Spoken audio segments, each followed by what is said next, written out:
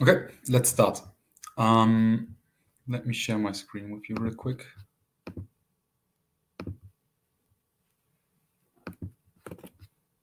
So if everything works out, you should see my screen. So an official hello and a welcome to the free workshop on intuition behind computer networks, which is brought to you by Code Labs Academy and held by me. Um, my name is Devram, and I work as a cybersecurity instructor at Code Labs Academy. I received my bachelor's degree in cognitive science from the University of Osnabrück in Germany, and my master's degree in data science and cybersecurity from the EPFL in Lausanne in Switzerland. Before we dive right in, um, let me take a few minutes to talk to you about who we are and who's sponsoring this, this workshop. What is Code Labs Academy really about?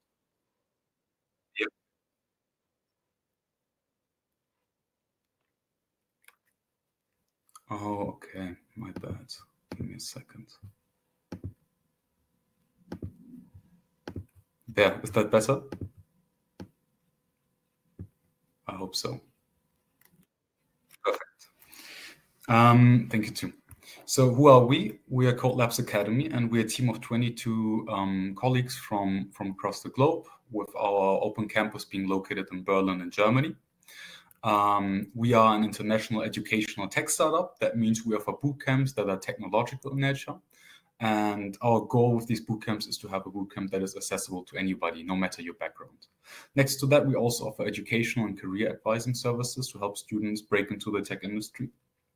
And um, if you're interested, when I talk about our, our options, we offer different financing plans that I'll talk to you about in a second. Um, the, the courses and the boot camps that we offer can be uh, either in person or remotely taught.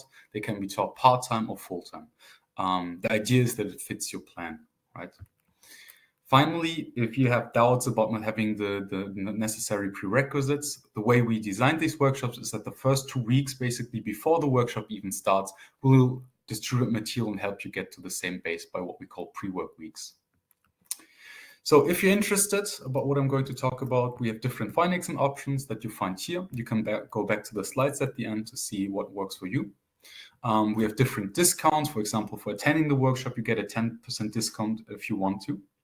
Um, finally, one big thing that we have right now is that in November, uh, you get 1,000 euro discounts just for registering for the courses I'm about to show you now. So the upcoming boot camps uh, are these. Um, we have four different kinds of them. So we have a data science one, a UX UI one, a web development bootcamp, and a cybersecurity bootcamp. So these all start on January 9th, this upcoming year, and can either be done hybrid in Berlin, which would be full-time over a duration of three months, or remotely, which start at the, uh, start at the 11th of January, which can be done remotely in a part-time setting, right? So 20 hours per week. Um, before we start off, the last thing the free workshop like this is done by us a lot, as you can see. Um, these are the next ones that are in the topic of cybersecurity. Um, so we have intro to cybersecurity on this this Sunday. We have Docker security part one that is done next Sunday um, in, in December, and the first part you can find on YouTube.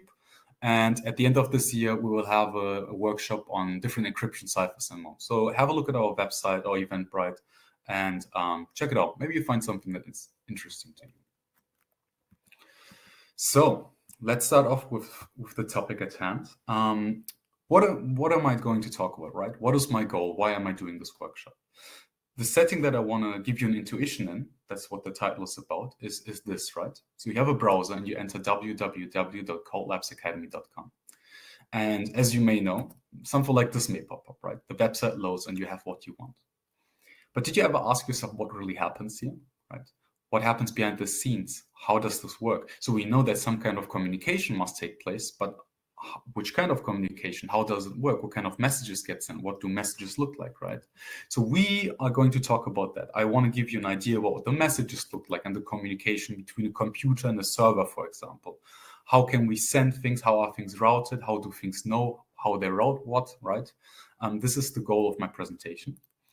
And um, what you will hopefully learn at the end is how addressing works in networks nowadays. So we will talk about IP addresses, MAC addresses, and ports.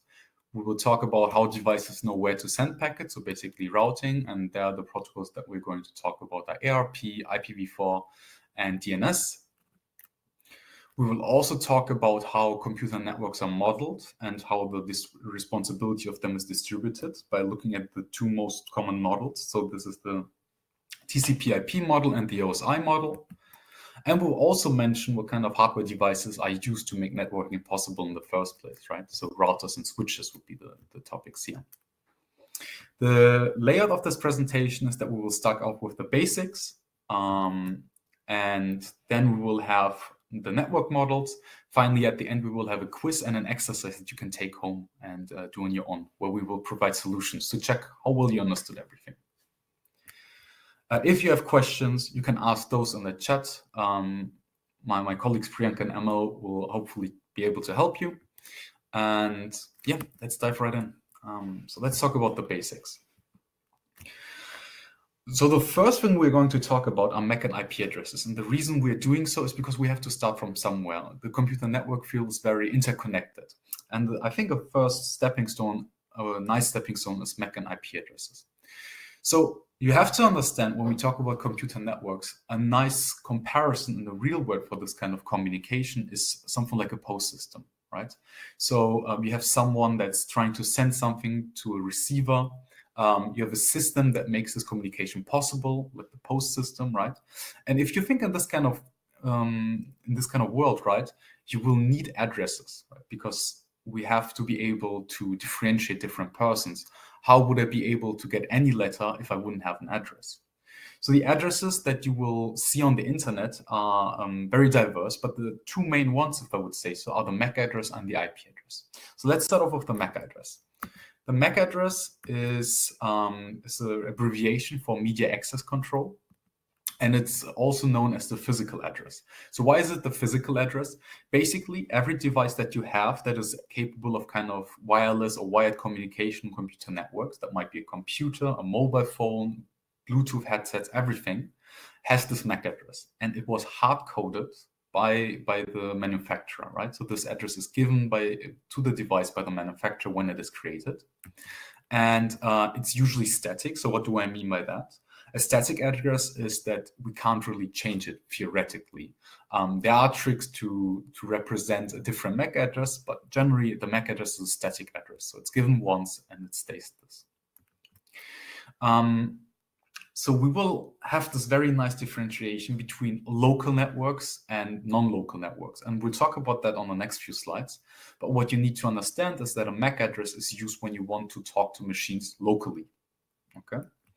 Um, the address format that you will see with MAC address is this kind of string where X's represent hexadecimal numbers. And if you do take this and calculate, you will see that the MAC address has 48 bits. So that means we have 2 to the power of 48 possible addresses. Now, the, the other side is the IP address. So if we try to contrast them, right, because I think contrasting makes a lot of sense in this context, um, the IP address stands for the Internet Protocol address. It's the internet address. So this is this is not a physical address, but but it's that's the one that you use if you are traveling or, or communicating on the internet. It's dynamic.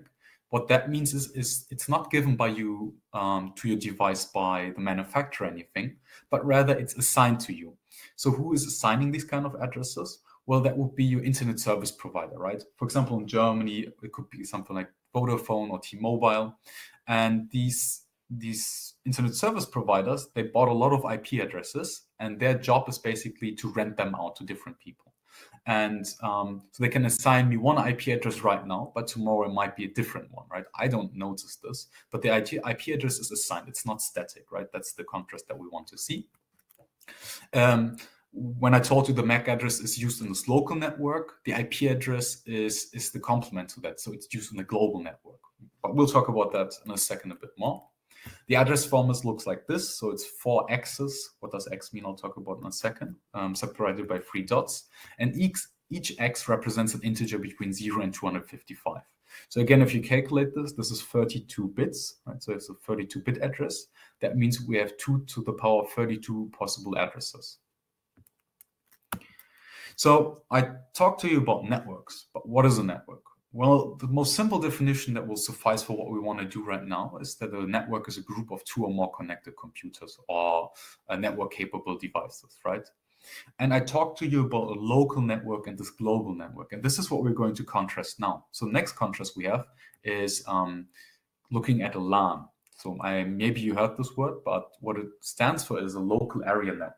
Okay, so um, a LAN network or LAN is nothing else but a network. So connected devices that are contained within a small geographic area, like a building, right? So if you have computers that are very close and closely connected, if it's at home or a company, small company, and all of them are connected, we talk about a LAN network, right? So um, company networks or home Wi-Fi networks, all of this is LAN. Um, if you're on a LAN network, how do you get connection to the internet? Well, that happens through a single centralized point usually, especially if you look at home networks, that is a router, right? And we'll talk about a router as well. So the, the connection that happens in LANs is often done by either Ethernet, so wired approach, or Wi-Fi, um, so wireless approach, right? And if what we can contrast the local area network with is the wide area network. So that's the, the other side of the coin, if you want so. Um, while the local area network is responsible for connecting devices in a close geographical area, the wide area network is responsible for connecting devices over large distances, right? So the most common example that you will find is the internet. So the internet is connecting devices all over the world, which is why it's a wide area network, okay? And an important thing that you need to understand is that the wide area network is nothing else but a collection of many, many, many connected local area networks. But we'll talk about that in a second as well. The last thing before we get a bit more explicit and out of this theory is switches and routers. So switches and routers are both pieces of hardware that are used in networks to connect devices. So let's talk about the switch first. So a switch is basically only used in LANs and um, it is used to connect devices within a LAN. So it's responsible for forwarding and, um, and relaying um, messages between connected devices using the MAC address. So you see the switch um, and the MAC address are very important when you talk about local area networks. Okay, that's what I want you to remember. Um, the next thing that we have is a router. So a router can be used in a LAN but also a, in a WAN, right? So wide area network as well. And it is used not to connect devices in a LAN, but rather to connect different local area networks to each other. Um, it's also responsible for forwarding, relaying packets, but in contrast to the switch, it doesn't really care about the MAC address, but rather cares about the IP address. Okay, so what that means is that routers are not necessarily directly connected, but we'll see that visually in a second as well um, but rather they, the, the messages are passed between routers through the LANs. So this is a lot of theory. Let's talk about how, how to, we can visualize this, right? Um, this is an example network. So we have three computers here, A, B, and C. And we have two switches, which are the rectangular boxes that you see in the middle. And on the top right, we have a router. And um, the, the lines connect um, connecting different devices are connections, right? And what I also wrote down here are the MAC addresses of the computers A, B, and C. So the, the thing I want to talk to you about and show you now is how communication happens within a LAN network. So let's imagine that computer A wants to send a packet to computer C, right? So it prepares a packet, and what it needs to do in order for this packet to arrive anywhere is to write down addresses on it, right? That makes sense if we compare it to a letter. So it will write the address that it comes from and the address that it's supposed to go. So the MAC source address and the MAC destination address. As a source, it will write its own MAC address. And as a destination, it will write the MAC address of the of computer C. It will finish this packet up and send it on a merry way to the first switch.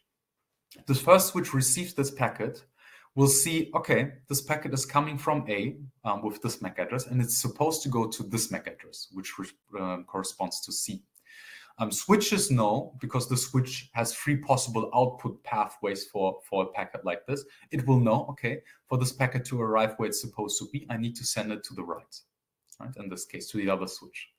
Um, the switch then forwards this package to the next one. This uh, the switch does the same. It looks at the MAC destination. It's like, okay, this um, this message has to go to computer C, which is on my self interface, so to the bottom, and we'll send it to C. C will then see, well, I'm the destination of this packet and receive it and open it. Okay, so important thing in local area networks is that you have MAC addresses. They play a role, and switches play a role, right? They're responsible for getting getting the packets, looking at them, and deciding where they have to go, right? And so we talked about having different LANs, and what, what I said previously is that a wide area network is nothing else but a connection of multiple local area networks, right? And how, how they connected? Through routers. So if we have a look um, at a second example, which is a tiny bit more complicated, but will perfectly round up what we talked about up until now. Um, it is that we have six computers in this case, right? A, B, C, D, E, F. Each of them has a MAC address that is written down in, so for example, computer A has MAC address all A's, B's, C's, D's, and so on and so forth. The difference is now that we also include IP addresses, right? So we have, for example, computer A has IP address 1111, and uh, computer E has 333.1. And so each computer has a MAC and IP address, and this is what you see in the real world. What else do we have here? Well, we have switches again, three switches, but this time we also have two routers um, that are connecting all these three different LANs, right? So because what we see is the computers on the left, A and B, together with their switch, they build a local area network. Computers D and C, with their switch, build a local area network. And the ones on the right, computer E and F, with their switch, build a local area network. And all of these local area networks are connected through these two routers that we see, right? And the interesting thing is that you need to understand is that each router has uh, an IP address and a MAC address as well. But not only one, but one for each local area network that it's connected to.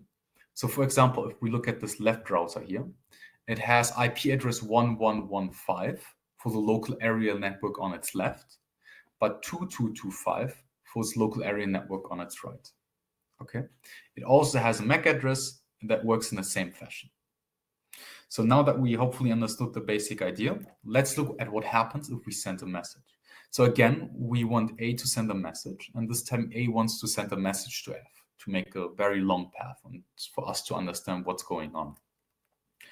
It will again write addresses down. So it starts with its MAC source address. It tells us, well, the MAC source address of this packet is me, and this is my MAC address, right? Um, it will write down the IP source address. So it writes down my IP address is 1111. I'm sending this packet. So, and now we come into the interesting part.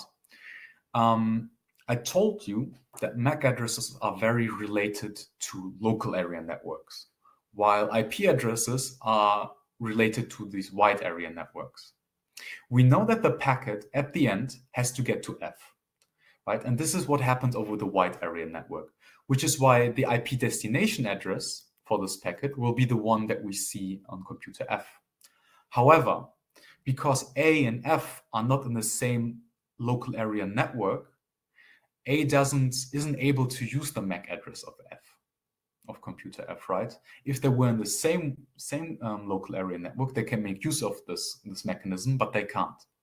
Instead, A needs to use the MAC address of the device in its local area network. That is basically the intermediary point for the packet to get, get from A to F right? So in this case, we see if A wants to get the packet to F, it will need to go over the router with the IP address 11115.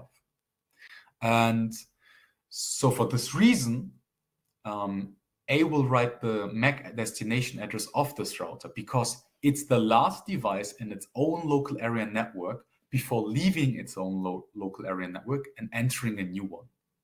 Okay, so this is why the MAC destination address has to be the one of this router. But, and this is the important thing, the IP address is the global one, right? The IP address, the destination for that will always be the final goal. So in this case, 33333. So let, what, what happens? So A writes this um, kind of addressing it sends the packet into the network. The switch looks at the MAC addresses. It says, well, the destination is the router on my right. It will forward this packet to the, to the router. So now something very interesting happens. So what does this router see? The router sees, well, this comes from a computer A with the this MAC and this IP address, and it's supposed to go to IP address 33333.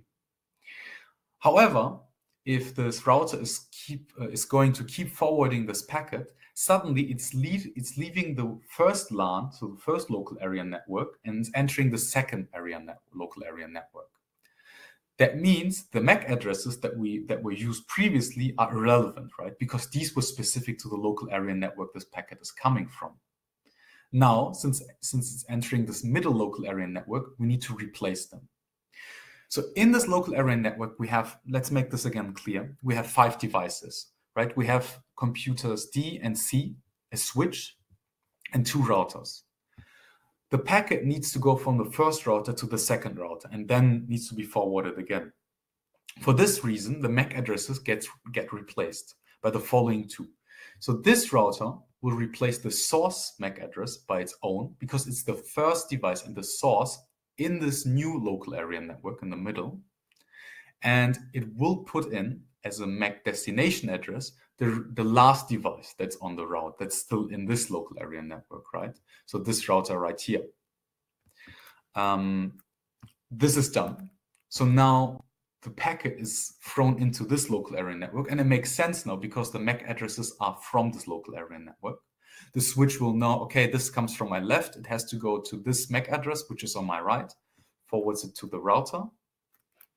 The router takes a look again and we have the same situation as before. This packet is coming from one local area network and is entering a new local area network. So the MAC addresses have to be replaced. In this right local area network, the destination is the computer F. And from a local area network perspective, the source is the router that we see on the right here. So it will replace the source MAC address by its own and write as the MAC destination address the one from computer F finally now, because finally this computer is in the local area network that we're looking for. So this gets sent to the switch, and finally it gets forwarded to computer F um, by the switch. So the important thing, and this might be a bit complicated, but this is all that happens really. The important thing is that from start to the goal, the IP addresses are the ones that you would expect. So computer A's IP address is the IP source, and computer's F IP address is the destination. And that doesn't change at all. But while this packet traverses through different local areas, enters new ones and leaves leaves old ones, the MAC addresses always change when it enters a new local area network, right? And this is done by the routers. Why? Because the MAC addresses are specific, specific to the local area networks that they are in. So if I have MAC addresses in one local area network and I enter a new one, they become irrelevant, irrelevant, sorry, irrelevant. And I have to adjust to the new local area network I'm at. Okay, I hope this is somewhat clear. Um, let's keep on. So the next topic we're looking at is network models. And what is a network model? So a network model is a, is a way to to make an abstract representation of how networks work, right? Um, so the ones that you will always see make use of what is called layers. And um, these layers are shown here. So we have five different layers, um, physical, data link, network, transport, and application layer. And the idea is that basically the computer networks work in a certain way, right? Um, we want to basically separate different responsibilities. So this is where this layered approach comes from. For example, the, the layer with number one, the physical layer, is everything that is responsible, uh, has to do with, with physical things, um, with raw bits, for example. While the layer on the very top is the application layer, that has to do with the applications that you work with. So basically, we look at everything that happens and we assign everything to a certain layer to have this um, distribution of responsibility. Okay, so the five layers, like I told you, are physical data link network transport and application layer. And for the next time, we'll for, for this time now, we will go through them and try to understand them. Um, one second, I think there's a question. Let me see.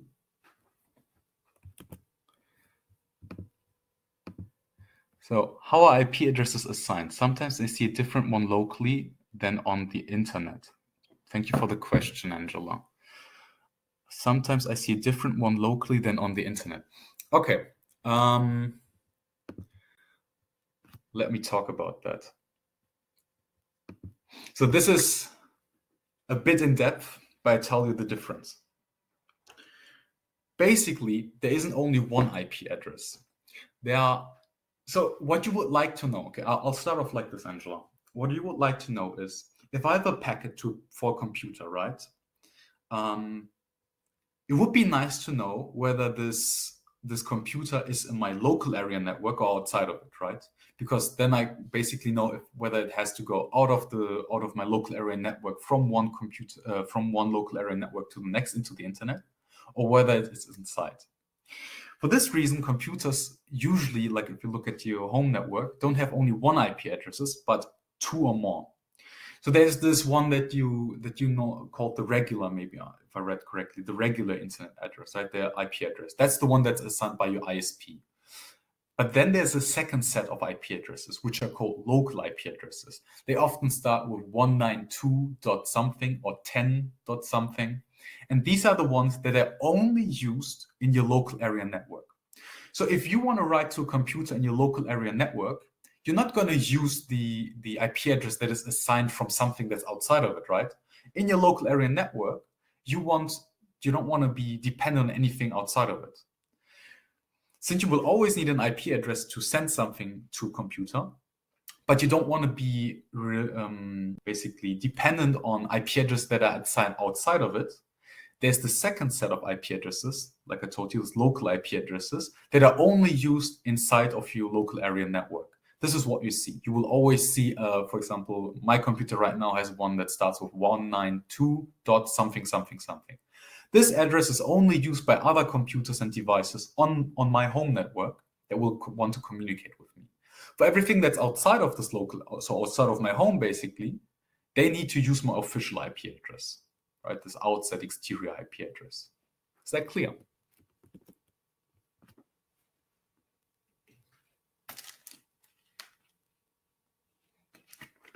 I'll just assume it's clear. If not, you'll throw me another message, okay? Because, so next question is, why do you need to have a local IP address if you have a MAC address? Because packets usually, as we will see at the end, I think this might be clearer at the end, but just to give you an idea, because um, slides again, because the packet structure relies on the fact that there needs to be an IP address, because that's the way that the packet is built. So you need some type of IP address, um, and if so, I see your point, right? Why do you need an IP address? If I wouldn't need an IP address, I wouldn't use this local IP address. That's true. But because the way the packet structure is built and it's supposed to be generic, right? Um, you need to have some IP address. And in that case, if you want to write to a computer that's on your local area network, you want to use this local IP address.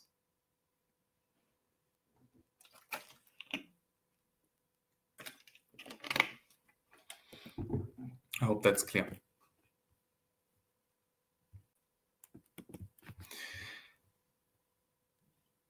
I'll continue from here if you don't have any. It's it's some type of redundancy, exactly, Angela. I'll continue from here. So we were stopped at network models, which again, we use network models to somehow make an abstraction of what we see, just to have a basically separation of different responsibilities. Um, so the two network models that you will always hear about are OSI and TCP/IP. And we will talk about them at the end. I don't want to talk about them now. Why?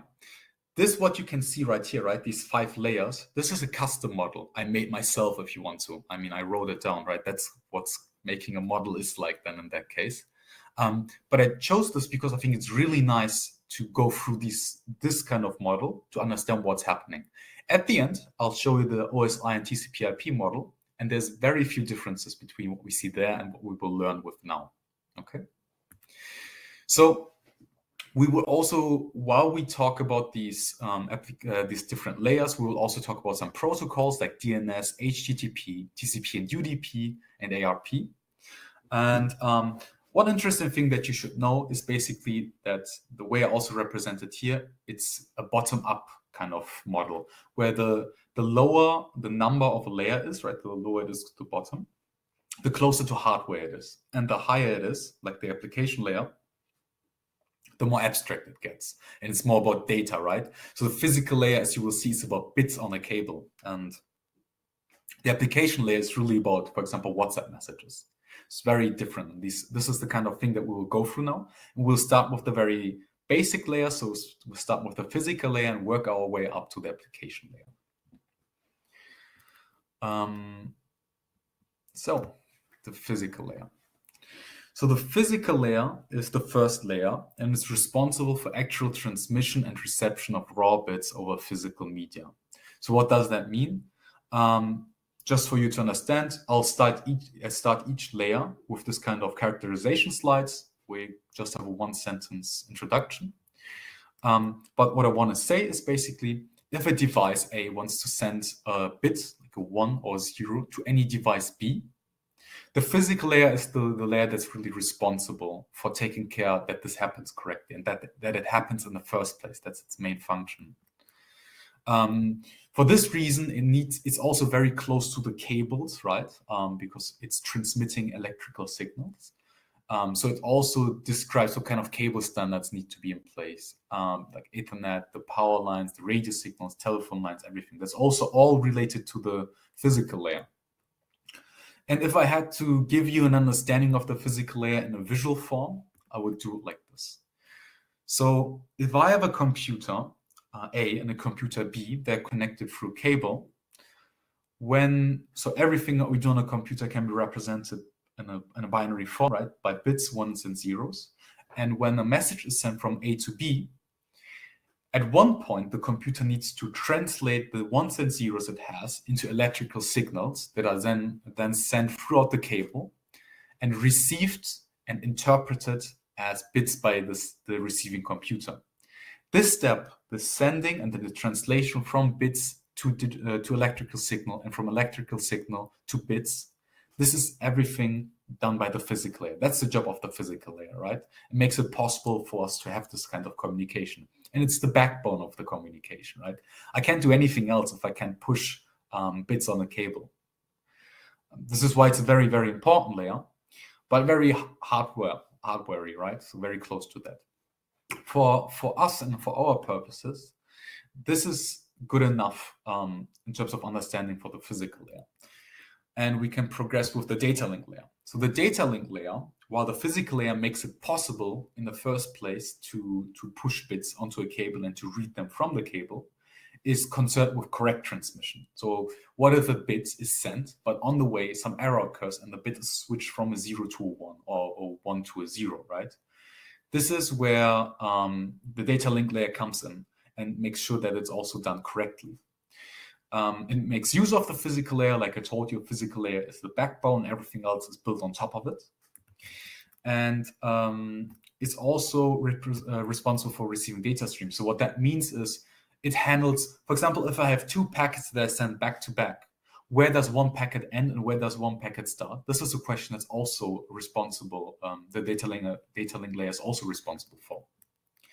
It also has error detection and recovery if errors are detected, right? That um, happen on the physical layer. So whatever um, a bit is switched, basically, that's the kind of question that we try to answer.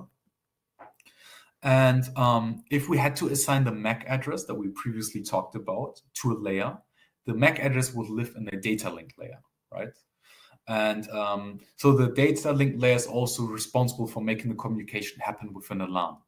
Uh, so if you had to remember something at this point, I would say MAC address belongs to the second layer, the data link layer, which is very closely connected to local area networks and communication within that kind of network.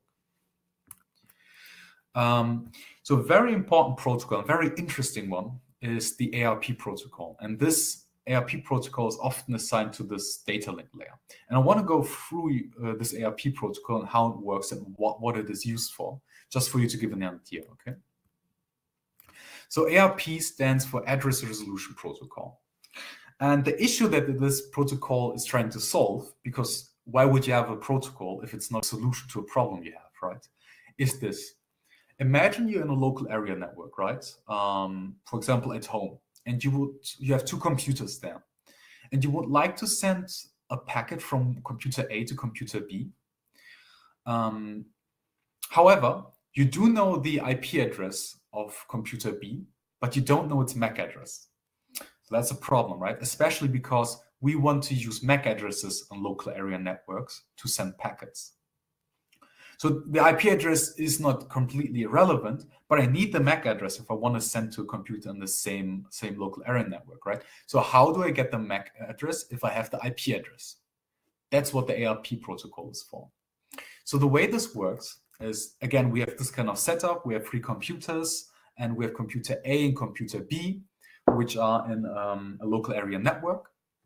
And we, I just assigned them two IP addresses and two MAC addresses, okay? So in computer A wants to send computer C a message, but doesn't know its MAC address. However, it knows its IP address. So how can computer A figure out that computer C's MAC address is all C's? Well, it will make what is called an ARP request. So ARP request is, is, a, is a packet basically that asks the following question. Hey, um, I'm looking for the computer that has the IP address 3333. I don't know who you are. I don't know what you look like. I don't know your MAC address, but I need it. Could you please tell me? My MAC address is this, right? So, um, so you know who to send the answer to. Now you have one more problem. So this is a good packet, right? If this packet reaches computer C, C will see that it's um, someone's looking for its MAC address because it uh, recognizes its own IP address and can answer. However, how does A know where to send this packet, right? This is basically a chicken and egg problem. How can A send this packet to C if for in order to send it, it will need its MAC address, right? So this is kind of a, a pickle we're in. Well, there's an easy fix to it. Um, what is done is that this packet is not sent to one specific entity, but rather broadcasted. So for a packet to be broadcasted means it is sent to every computer in the local area network. Okay. Um, how is this done technically? Well, if I had to put in a MAC destination address, uh, I don't have one, right? So I need to put some replace or placeholder in there. What is used is the, the MAC address FFF, so everything um, with the letter F. What happens then is that if this packet is, is sent to a switch, the switch will copy this packet and send it to every possible output link that it has. So basically, one when a packet is broadcasted, it's sent to every possible computer in the local area network. So A does this. It forms this ARP request, writes in who belongs, uh, who the who owns this IP address. I need your MAC address, and broadcasts it throughout the internet.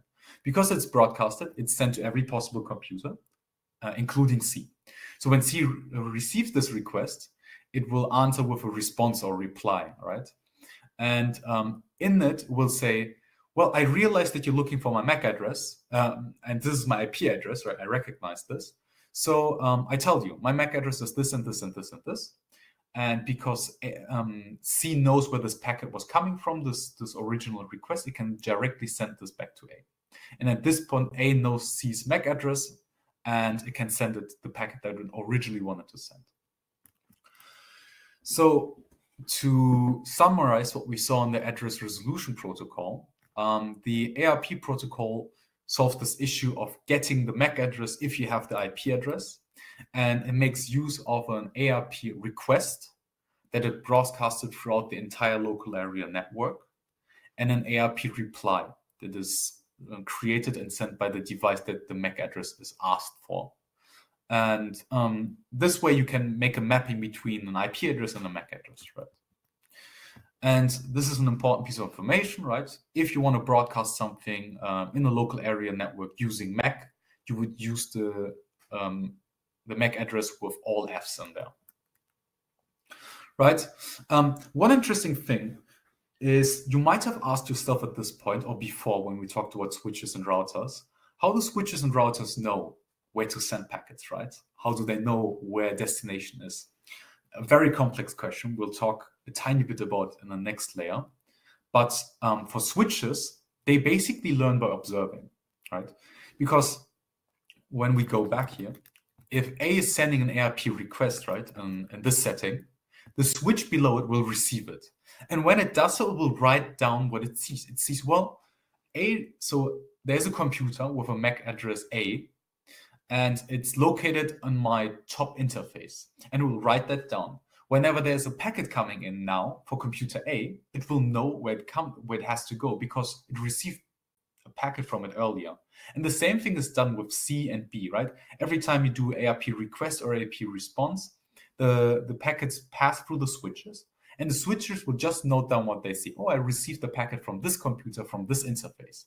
And the next time they have to relay packets there, they just copy that. That's the basic idea of how, how it works. So one last piece of information. Um, the ARP model is often assigned to the data link layer, but sometimes also associated with the network layer. This is more of a theoretical question, really, than a practical one. Um, but I just thought it might be important to mention. So the next layer we're looking at is the third layer, which is the network layer. So the network layer is concerned with how entities can find and communicate with each other, with each other over the data link layer, right? Again, we have this, this kind of um, building on top of each other. So the network layer is where IP addresses and the IP protocol live. Um, and as we saw with the example um, that we had previously at the beginning of the presentation, the network layer cares for getting a packet from its source to its destination. Um, I think we might have a question again. How does a device know that what IP address was assigned to it? Is that the question? I think, right? How does a device know what IP address was assigned to it? So this is how do I say this? Give me a second. Again, a bit more complicated topic, right? So you can ask the question differently, right? Um, how do I know what IP address I have? Is a different way of asking this question. Um, how do I ass assign IP addresses, right? So the way this works can be, there are multiple ways, but the two most common ways that you will see is this either, so let's make this a bit more practical. Let's say you're at home and you have a router, right? And uh, you have a, you have bought internet access by an internet service provider, let's say Vodafone, because that's the one I know. Um, what happens is that Vodafone is going to contact your router basically and gonna is gonna say, listen up, your IP address is this and this and this and this. So the router have this has this information, right? Um, you also have this information on paper, maybe, um, depending whether like this is getting complicated. But let's say the router has this information, and one very common way of dealing with how to assign IP addresses is a protocol that's called DHCP. So basically, it's it's it's running on the router and all the devices that want to connect to the network.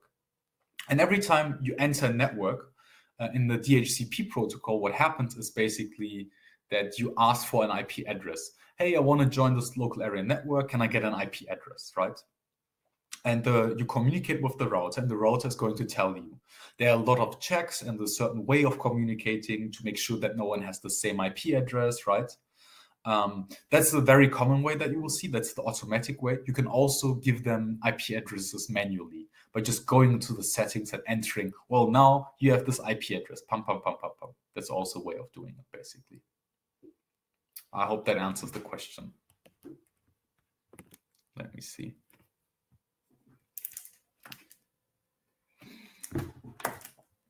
Great. Um, that's clear. Okay. So we were at the network layer. And so we talked about IP addresses and the IP protocol lives in the network layer, which is the third layer. And it's very concerned with getting packets from its source to its destination, right? So I want to make something clear. And I think this is something that's really nice to understand and that you will not get in a book really. It's the kind of intuitive thing that I want, right? Um, something I find very interesting is so I can go in a book and I can look at the protocols and they make sense. But I what I really always want is intuition. I want to understand why do we have these layers? Like why are they the way they are, right?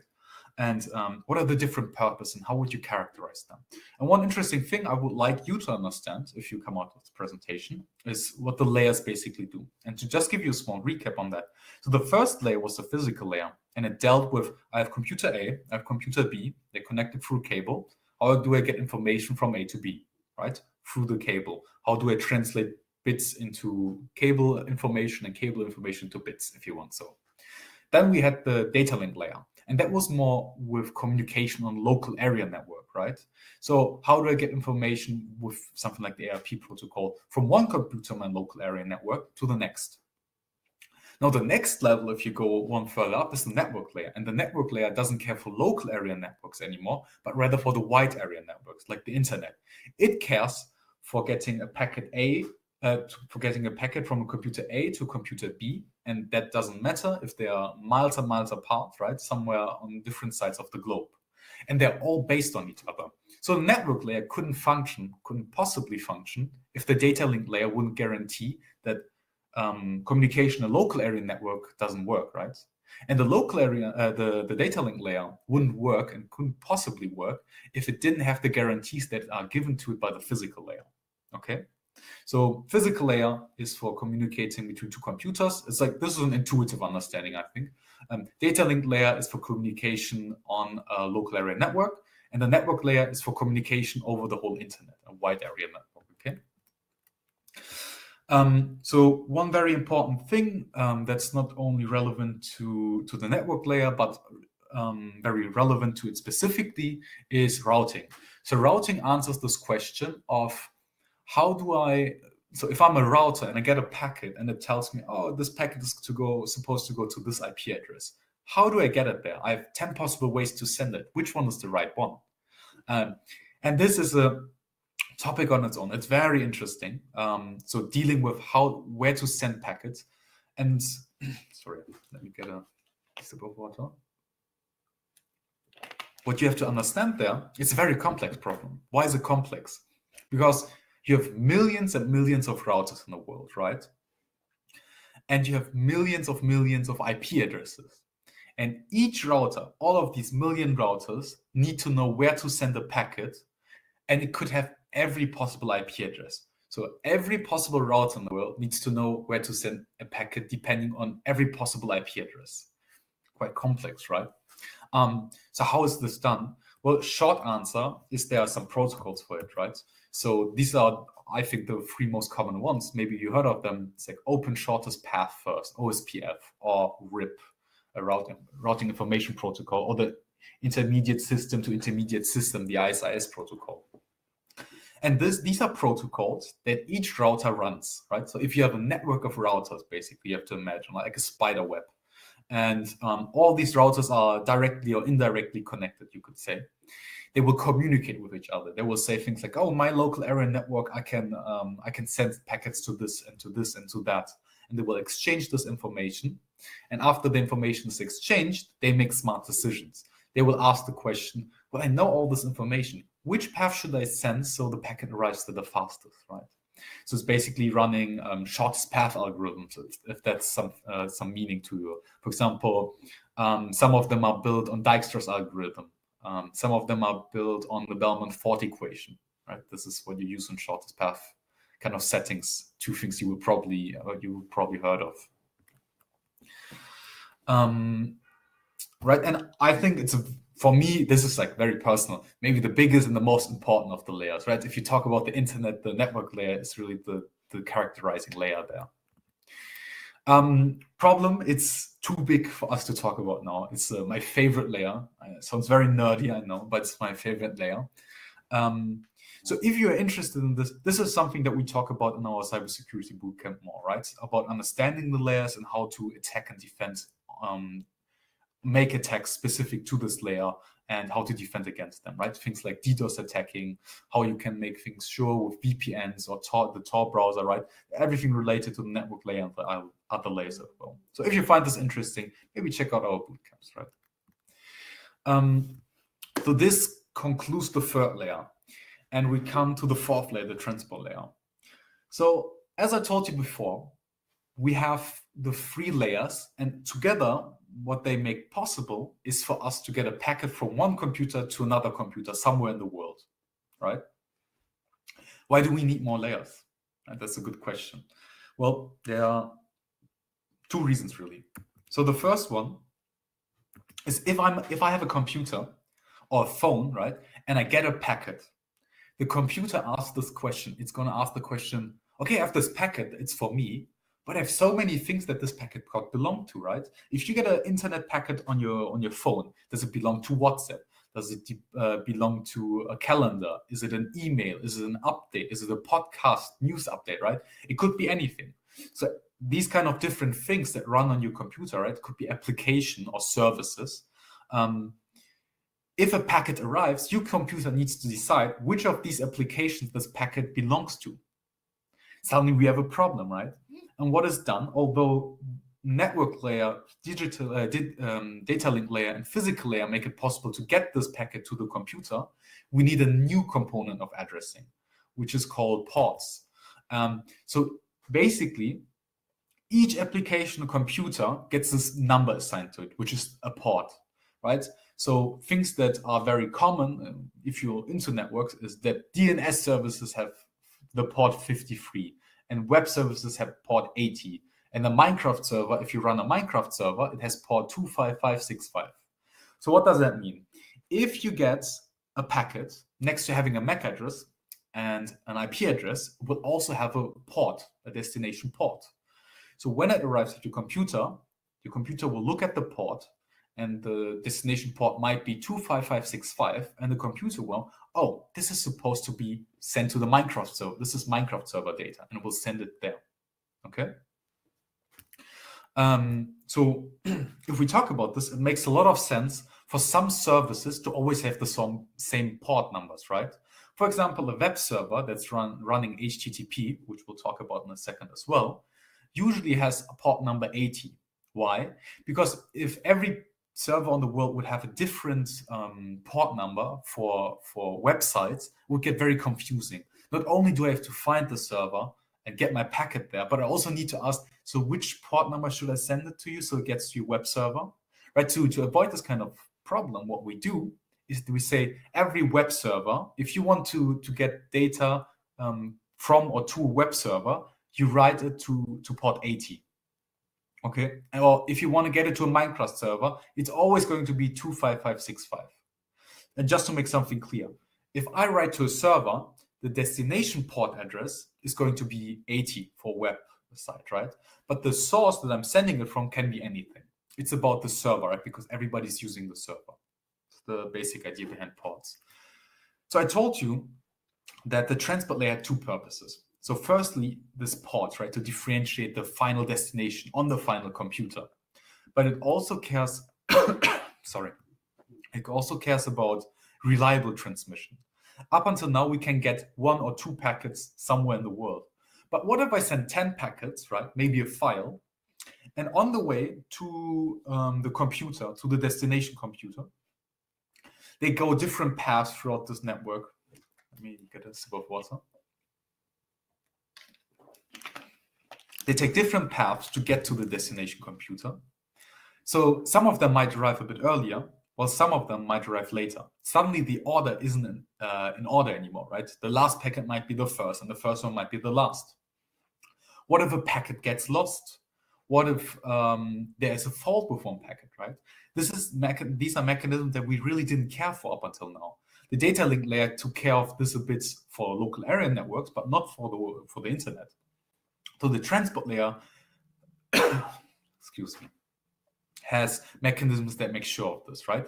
So what do we have from the transport layer? Let's get the intuition again uh, rolling. So firstly, ports, which are very important. And second, um, mechanisms that take care that no errors happen and uh, messages don't get lost.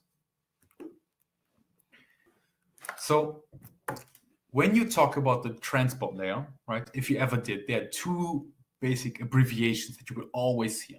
So the first one is User Datagram Protocol, UDP, and the next one is TCP. So these are two protocols. So if you want to send a packet, you will make sure that you will basically use one of these two protocols, okay? So the UDP protocol is a simpler protocol. It's basically has fault checking. So if a packet comes, it will see, okay, is this in the state that it was sent? Is something um, different? Did something go wrong? But nothing else. Will not ask for anything else. TCP is a much more complex, much more dedicated protocol alternative.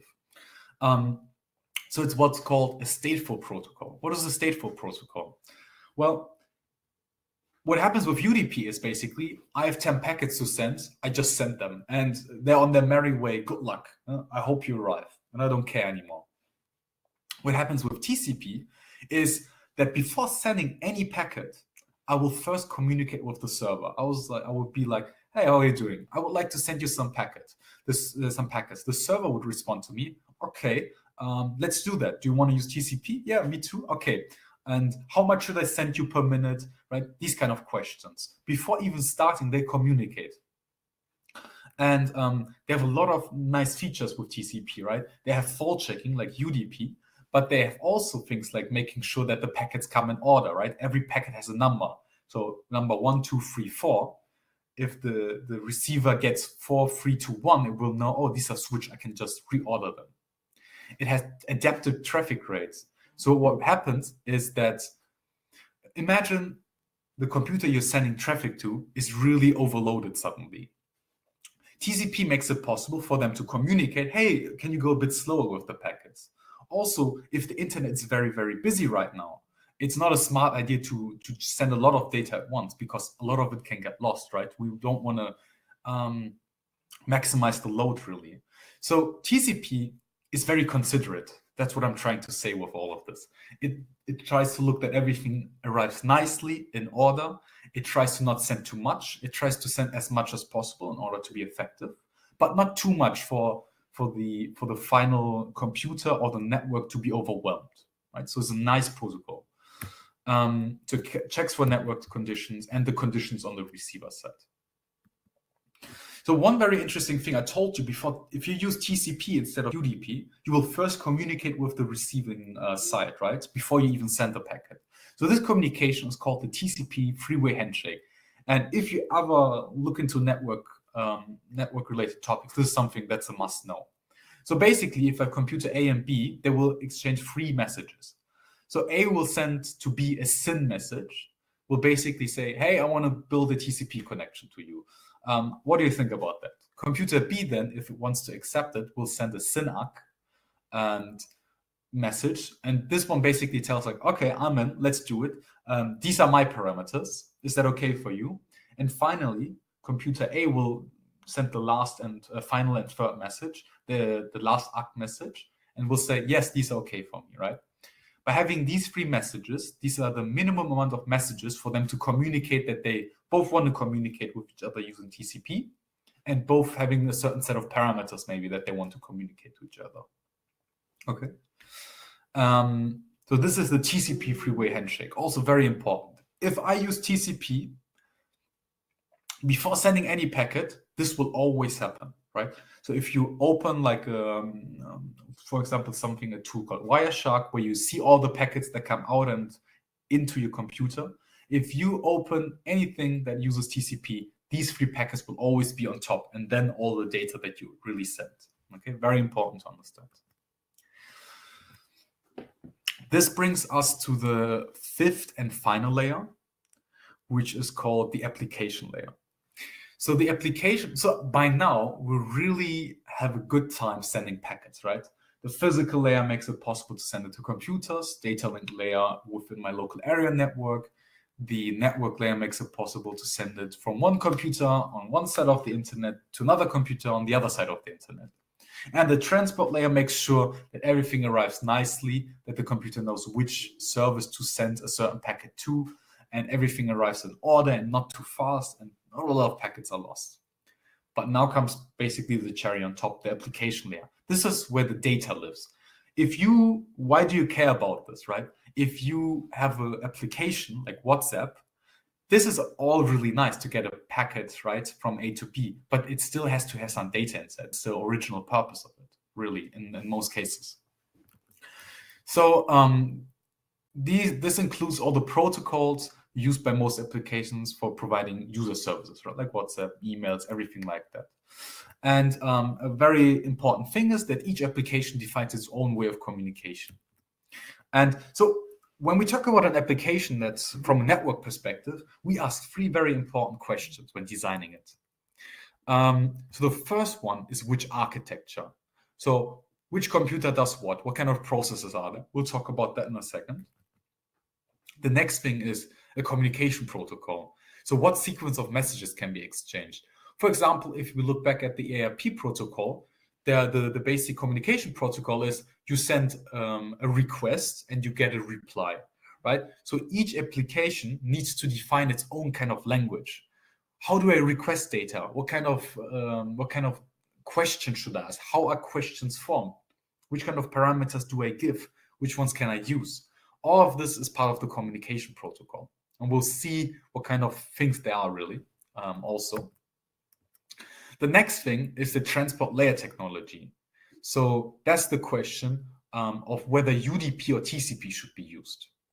So we didn't talk about this really, right? We talked about UDP being simpler and not doing a lot of checking, and TCP doing a lot of checking and being really nice. So why shouldn't you use TCP all the time? It's um, it's more work. It's more work for both of us to always check with each other if everything is okay it's more work um, for me to be slow when the receiver doesn't want a lot of data, right? UDP is basically throw it all on the internet. It will probably find its way. And so why would you ever use UDP? Sometimes it's really nice to use UDP because you don't care that some packets get lost. For example, the video that I'm sending you right now, right? You get this live video of me and my screen. This is probably sent in UDP. Why? Because if a frame or two get lost, we don't care for that. What you really care about that uh, we don't have too much lag right now, right? That we are live. Um, for something like a file where every bit makes a difference between a file working and a file being complete garbage, that's where you use TCP for being perfectly correct. Okay. So when you when it comes to transport layer technology, you have to ask, okay, what kind of things do I expect from it? Do I want perfect but maybe slow transmission or very fast one, right? Like with UDP, but maybe faulty. These are questions you ask. Mm-hmm. So I told to you the first thing here is the architecture, right? I think I hope the transport layer technology part of this question is clear. Communication protocol we'll talk about later. So what is about what about the architecture? So basically, when it comes to architecture, you have two big choices. So the first one is a very common architecture model. Get something to drink. Is a very common one um, which is called the client server model. So the client server model has two entities really, the server and the client. And the server has all the data, right? Um, the data that the client is interested in. For example, a website often is located on a server. So the, the, the data lives on the server. A lot of clients can ask the server, hey, can you give me the website data? I want to look at it in my browser. And um, many clients ask one server right? And the server serves requests, basically. That's the basic idea. And um, exactly, the clients request services and information from the servers, which they then send back to the client, right? This is the basic setting. This is very common. Maybe your first thought if you think about how, how the internet works and that kind of thing. The next one is a bit more specific. So it's called peer-to-peer. -peer. Um, so in it, we don't have a server that has all the data and a client that wants to request it. Rather, we have there are no roles. Everybody has the same role. So what that often means is that um, resources are shared between all the peers, right? Instead of 10 files living on one server, um, I have one part of the file, you have one part of the file, and this third person has a part of the file. And in a peer-to-peer -peer network, we work together. We exchange everything at once. And so, in a way, you could say a peer in this peer to peer network is a client and a server at the same time. So, if I still have your attention, I would like to ask a question. Um, and the question is why would you ever prefer a client server model over a peer to peer network or the other way around? Can you imagine? Let me ask this question when a peer to peer network might be smarter? Do you have any idea about that?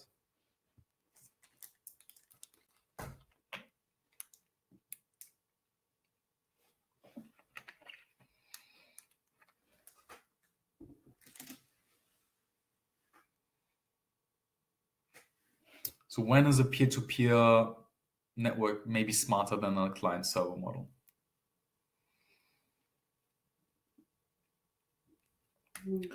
No worries. It's a hard question. Um, so I could give you.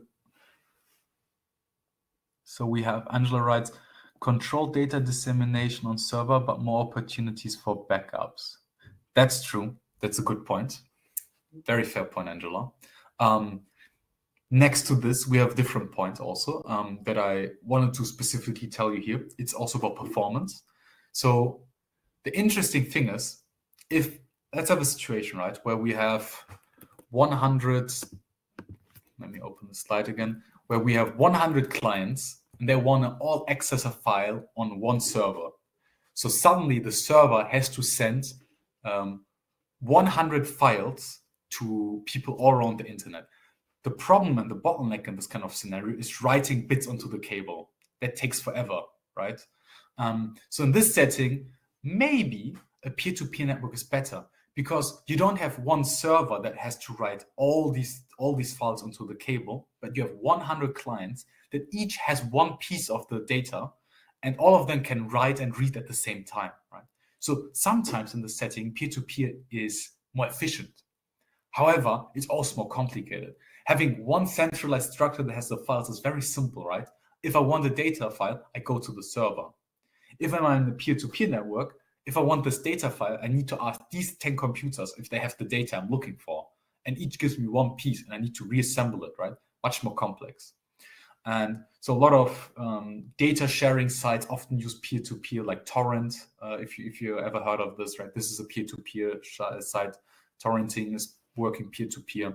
So if you ever wondered, so in Germany there was this law that's very interesting, I think, that if you're watching movies online, um, pirated movies, um, that that would be a gray area kind of in terms of legality.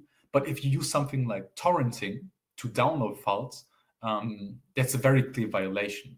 And the reason is the way these torrenting websites work is that if you download files from them, you're then also giving them to others back, right? This is a peer-to-peer network.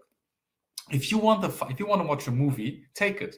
But next time someone asks, I might tell them to get it from you, right? And suddenly you're uploading and downloading um, illegal movies, uh, and then you get uh, like it's very easy to to to be guilty in this kind of setting, right? That's the difference you have. So we will talk now about two applications, which I find the two most important ones that you can have, and um, as for an intuition. So the first one is the domain name system, um, the DNS protocol. And I talked I talked to you about how the an application is designed. So it has an architecture, communication protocol, and transport layer technology. And this is basically the character sheet for this application. So the architecture is client server model. The communication protocol is a DNS protocol. It decides it's very specific to DNS. We don't care too much about it. And the transport layer technology is UDP, but sometimes also TCP. But for now, we'll write UDP, okay? So what is DNS? We might have another question, I think.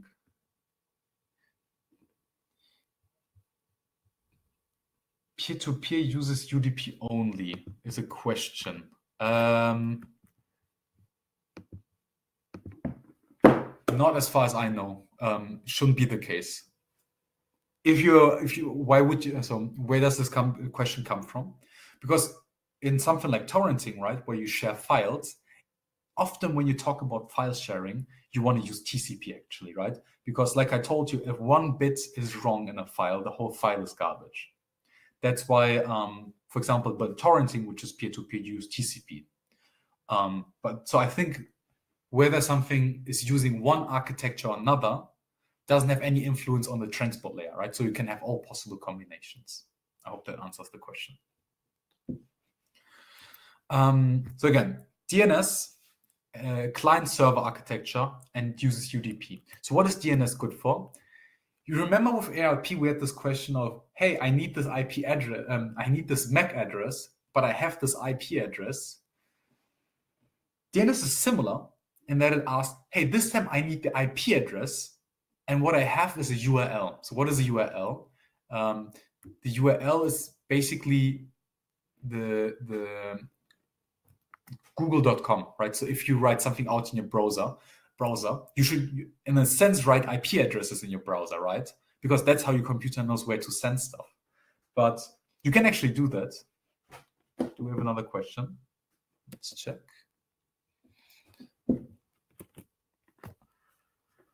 When to use which protocol is a dilemma during development? Mark, um, could you rephrase the question? When to use which protocol is a dilemma during development?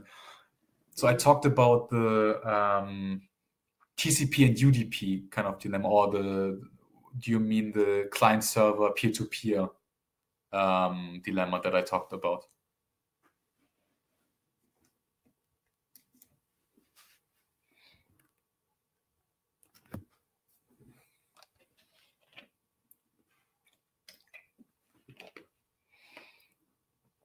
For UDP application. So is your question that I talked about this dilemma between using TCP and UDP and when to use which? Is that your question?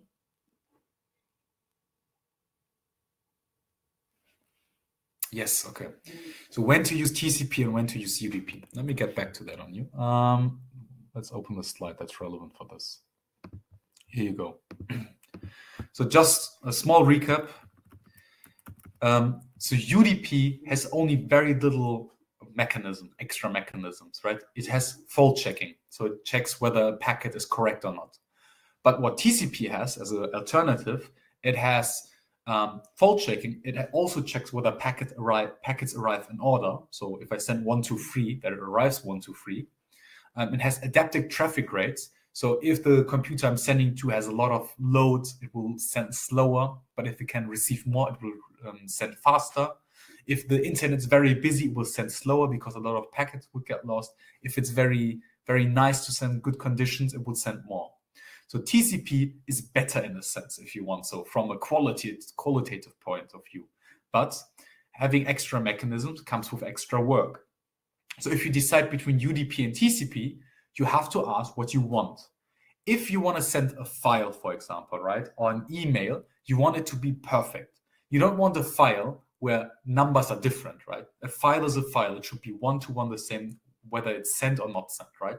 In this case, you would want to use TCP because even though TCP is more work, it's really good at making sure that the file is correct and perfect.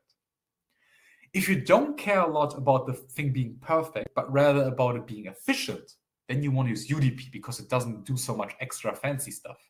If you do a voice call, right, over the internet, if you do a video call like we're doing right now, it's sent over UDP because one frame or one second of the call being lost, not a problem, right? Uh, as long as it's up to date and live and it doesn't have a lot of lag. So this is the question. What do I want from my application? Do I want it to be fast, maybe a bit more more errors or missing packets, or do you want it to be perfect and I invest the extra time in it? This is the question and the dilemma you always have.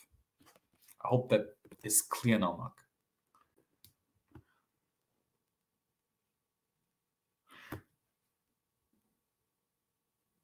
Okay. Mark seems your question seems to be answered. So Ben, you asked if we can talk about VPNs for a bit. Um, how about this? It's not on the plan, but at the end of the session, I don't mind talking about it, right? Um, so I can talk about VPNs and how they work, the basic idea behind them. Is that a deal?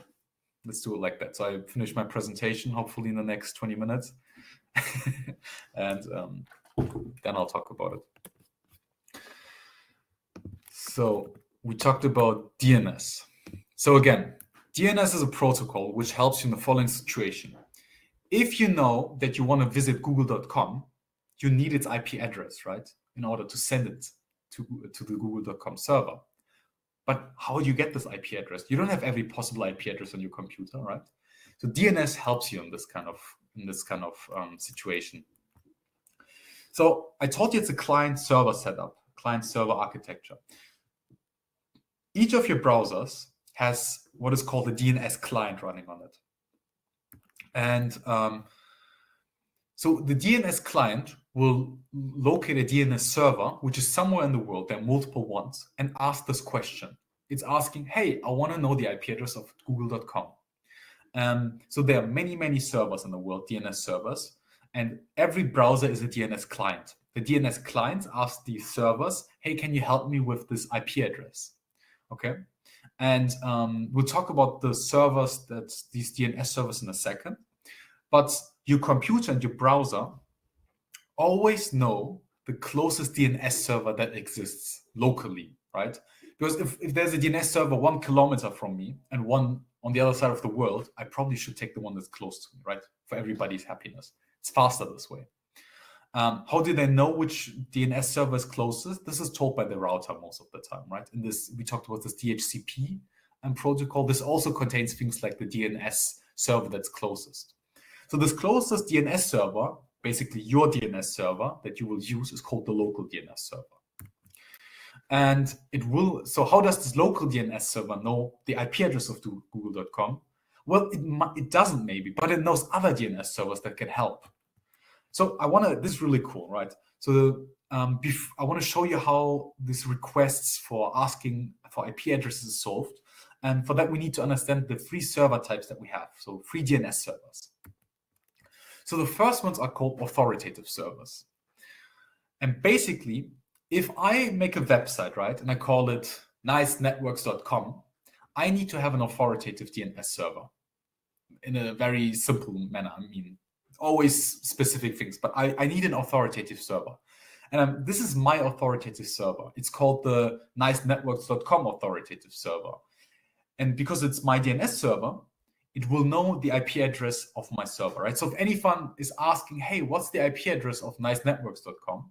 This authoritative server is responsible specifically for nicenetworks.com and will give the IP address, okay? So each DNS name has an authoritative server somewhere in the world that exists one or multiple, for example, google.com or google.de authoritative servers. Everything has an authoritative server, and the authoritative server always knows the IP address. Okay. Um, the second type of server is a TLD server. So the TLD server isn't responsible for specific DNS names like google.com or Google uh, or um, youtube.com. It cares for the domain. So it can be responsible for everything with .de or .ch or .com or .org, right? So that there's a TLD or multiple TLD servers that are responsible for .com. There are some that are responsible for .org, okay?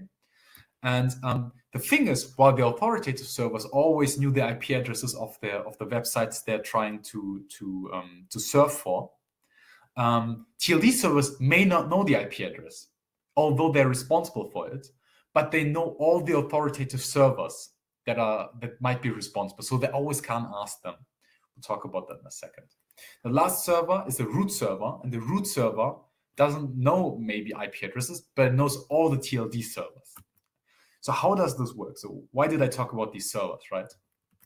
Imagine that's you, right? You have a computer and you know your local DNS server is located somewhere. You will ask this question, um, hey, local DNS server, can you help me with finding the IP address of uh, www.google.com? Right? Your browser is asking this. If you type in www.google.com, your browser will be like, oh, I need an IP address for that. So let's start my DNS client on Ask My Local DNS server. The local DNS server gets this request and it's like, I don't know, but I need to figure this out. I'm responsible for this client, right? So what it will do is every DNS server in the world knows one root server, right? So we'll ask this question the root server. It's be, be like, hey, root server, do you know the IP address of google.com? Um, google.com? The root server, as I told you, probably doesn't know the IP address, but it knows every TLD um, TLD server in the world. it will also know the TLD server for .com, right, which is responsible for google.com. The root server will be like, hey, you're responsible .coms. This is a .com address. What's the IP address of this um, of, of this URL? The .com TLD server might be like, oh, I don't know. I don't know the IP address, but I know the authoritative server of google.com. And we'll ask the authoritative uh, server, hey, do you know the IP address? And the authoritative server always knows the IP address, right? That's the one responsibility. They will form a response and send it back to the TLD server. The TLD server will be sending it back to the root server. The root server will be sending it back to the local DNS server, and finally, the local DNS server will be like, "Oh, I solved it for you. The IP address is this address." This is basically how the DNS flow works and how information is sent using DNS. Um, we have another question, I think. Let's check it out. So what's happening when I purchase a domain name? Am I purchasing from whoever owns the authoritative server? What about completely unclaimed domain names? Something I'm not an expert in, but um, you're not purchasing the authoritative server, right? That's something you set up. Basically, you're you're purchasing the permission to use this and to advertise that you this kind of um, this kind of domain name, right? Um, so if you look at websites, uh, what are the names? I forgot them. You have like domain name websites, right? Um, purchasing from authoritative servers. No. So the way this works is, um, so again, I'm not an expert on this, but what i am pretty sure on is that if you buy uh, a domain name, you then basically create or make use of an authoritative server in order for people to understand and to get IPs, right? So if you, if I have a website, right, I'm making this more simple maybe. If I have a website, um, let's call nicenetworks.com, I want people to visit it, right? So if they type into their browser nicenetworks.com, they need to be able to, to get my IP address once I purchase the server from a from a distributor of domain sites, I'm allowed to use it. I have the license to use it, and then I can make use of of a DNS authoritative server. I can make my own, right, or make use of a public one maybe, and tell it to say, hey, if anyone ever asks you nice uh, nicenetworks.com, please give them this IP address, right? So I don't buy them from the authoritative server. It's not an authority but it's just called an authoritative server because it has authority over one or multiple um, URL names. Okay.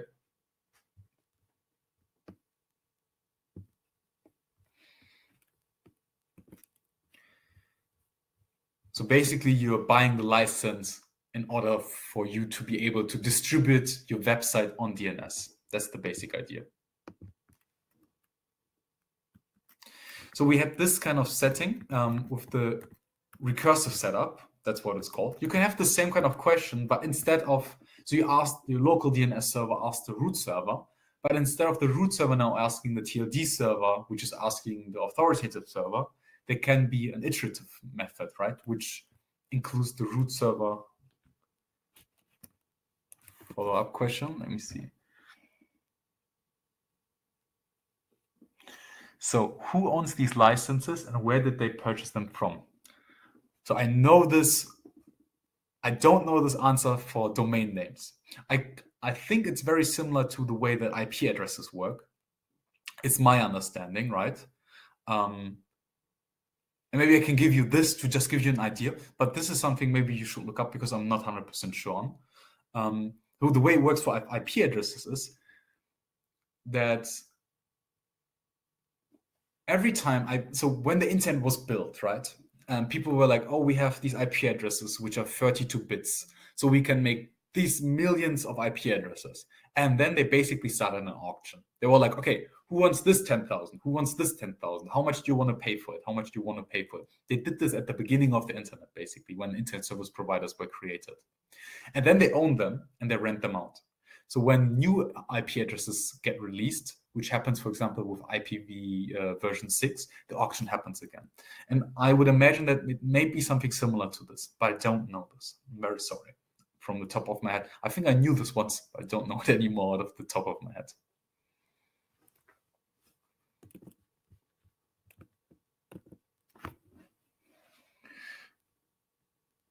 Ah, no worries. Uh, so if you have a question, don't feel bad for interrupting. I love answering questions, so uh, it's it's maybe sometimes I can't, but I I'll try.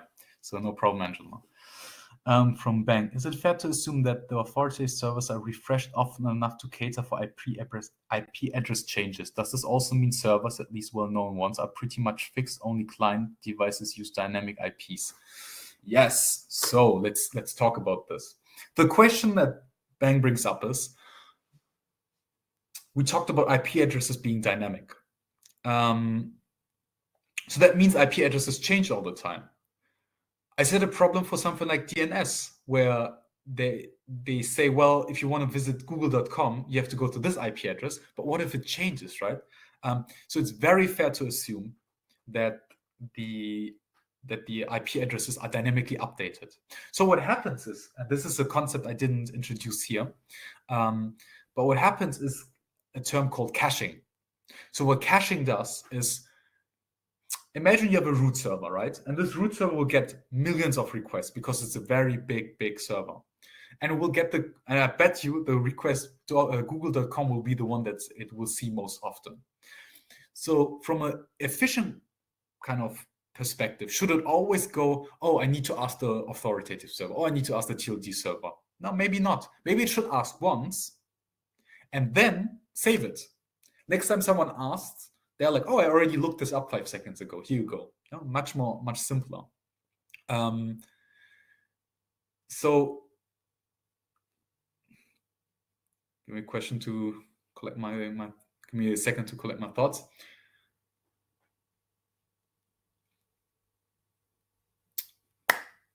Now, missing the missing the string. Um, so the, the thing is that you have this caching principle, right? Principle where you save an entry instead of releasing it directly.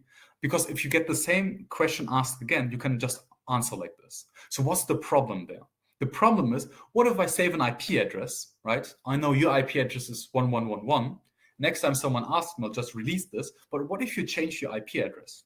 Suddenly we get into really problematic territory. You are advertising IP addresses that are not mine anymore. Um, by the way, cybersecurity related, this is how attacks can work, where you go, um, you basically poison DNS servers. When you want to visit google.com, instead of getting the Google IP address, I'll give you mine. And you think it's Google, right? This is something where DNS attacks happen. Anyways, so what happens? Um, the problem with caching is if I save entries in order to not always ask, I might have the problem that they might be um, already worn out. They, they're not used anymore. So there are multiple ways of solving this. One is that every time you get asked, or every five seconds, you ask the original authoritative server, "Hey, is this still act like is this still updated? Is that the right one?" Right. That's one way of always checking, and if it isn't, you get the new one. Another way is because you might be. So this is a question that Angela um, Angela, I hope Angela is pronounced correctly, brought in. Um, and I think the, the two questions can be nicely combined.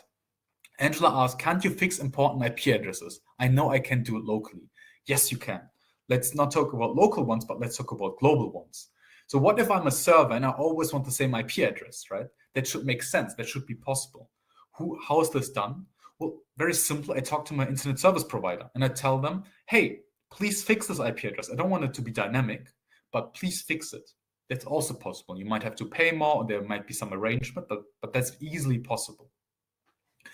So if I have this, if I buy an IP address and I go to my internet service provider and I tell them, hey, I want this internet address for the next 10 years, right? And I buy it, or let's say for the next year to make it a bit more realistic, I can be sure that all the DNS servers that um, that serve this my IP address, they don't need to check me all the time, right? Because I have it for a year. It's not going to change. You don't need to ask me every five seconds.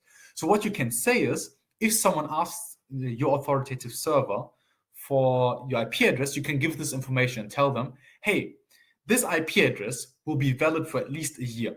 Until then, you don't need to ask me again, right? And this is the way that also caching is done um, in order to be always to be efficient, but also not advertise something wrong. So Bang and Angela, does this answer your questions?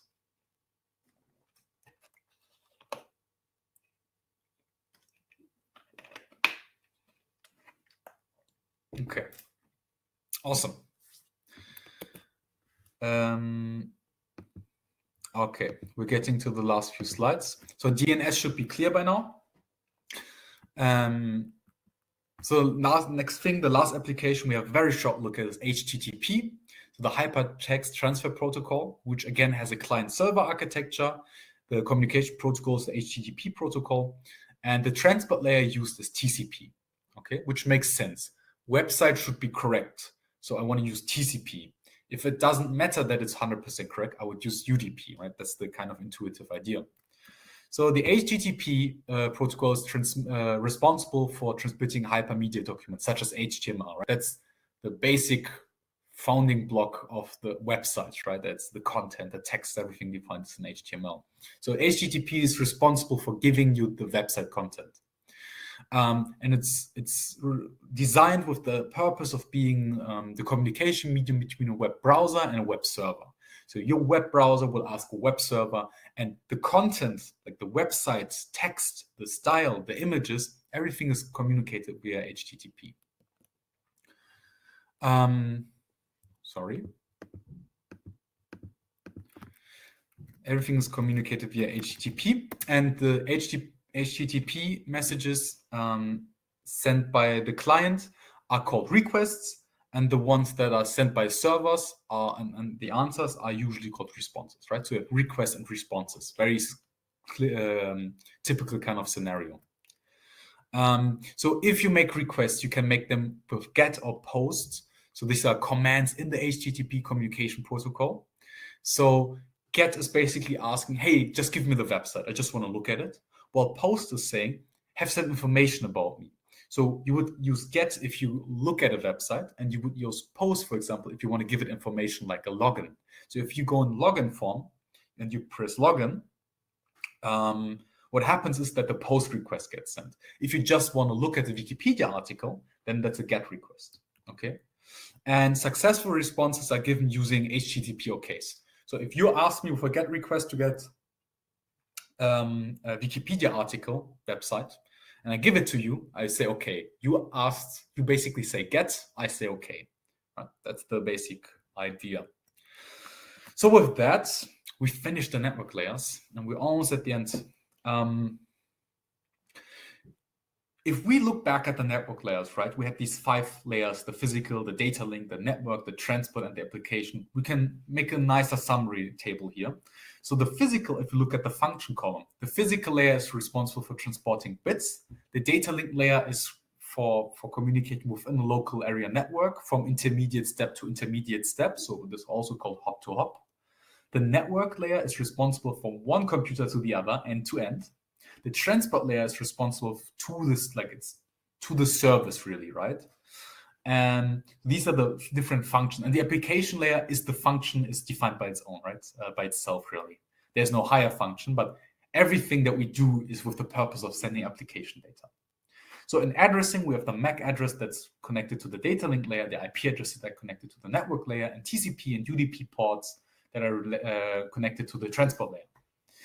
The devices that we see there so cables and Wi-Fi belong to physical, switches belong to data link layers, and routers and hosts belong to network layers. Okay, basic summary. Last thing uh, is the packet structure. So we talked about how things get sent and how they basically work, but how do packets look like? So they always start with data, right? I send a packet because I want to send data. So they always need to start with data. And the important thing here is that the, the packets follow an encapsulation principle. So data is basically the honey core of a packet, and around it there will be multiple layers. The first layer um, contains is basically assigned the transport. So basically, is part of the transport layer. It contains the ports, right? So source and the destination port. This thing, so data with the ports around it, it's called a segment. Excuse me. The next layer wraps around it contains IP addresses, right? Information and everything that information kind of um, variables and parameters related to the network layer. This is called a packet. at this point, right? If you have this kind of setup. And if you take this and surround it again with a MAC address um, and um, with MAC addresses, with everything related to the data link layer, then it's called a frame, right? And this is what basically travels through on, on, on the lines and on the cables.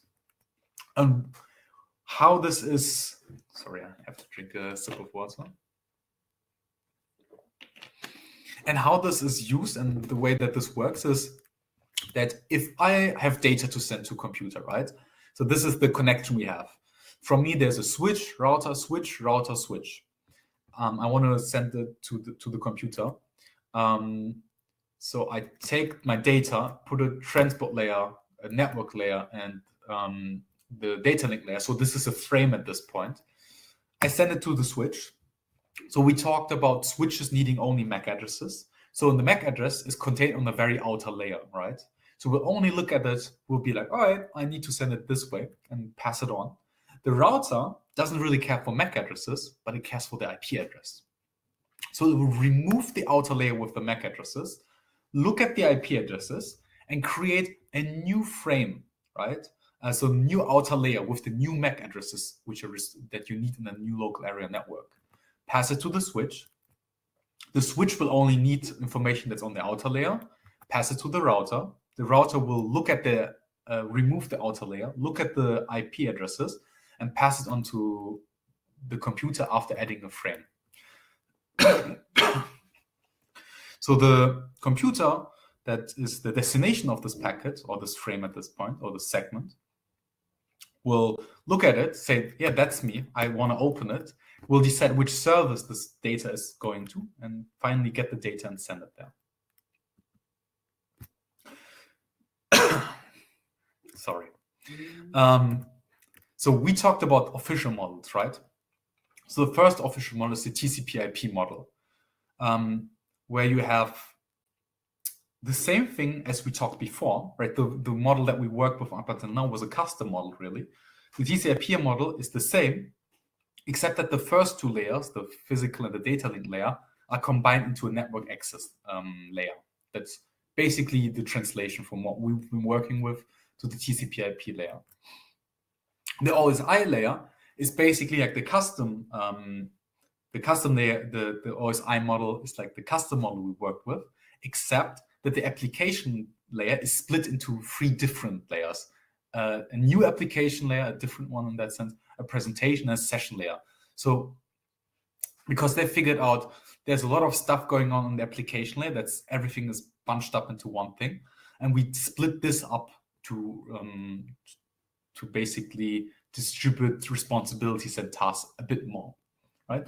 These are the two official models. If you ever want to do a network test or want to have any idea, these are things you have to know at least that there are these these models TCP and OSI. There are these layers in order to re, uh, distribute responsibilities and to have an abstraction of what we see. So we are getting to the end of the presentation. Um, we covered the back the basics of computer networks and um, what can you do with this kind of knowledge? Well, you can go into web development. This knowledge is necessary for web development. You can go into network engineering, or you can go into cybersecurity, right? Um, if you if you want to go into web development, cybersecurity, check again. Maybe one of our courses is for you. And please check again on our website, called codelabsacademy.com, the free workshops. Before we get uh, end anything like this, I want to do a small quiz with you, right? So do me a favor there is a website called kahoot.it, and it's a quiz format where we can have a small little quiz um, competition if you want so. Um, so give me one second. So for now, can you please join the server where we have a multiple choice competition about what we talked about up until now? Um, I will check the question that's in the chat. So we didn't do the iterative DNS. We talked about this for a second, right? Would you like me to talk about it again, Angela? Right, and Mark was posting some of the. Oh, it's okay, good. Um, Mark was posting some of the responses that that HTTP gives. uh, using for login use post when it reads Google all internet calls we get. Data sending from header to body, body to body, body to header, which takes more time. Uh, I hope we didn't, right, Angela?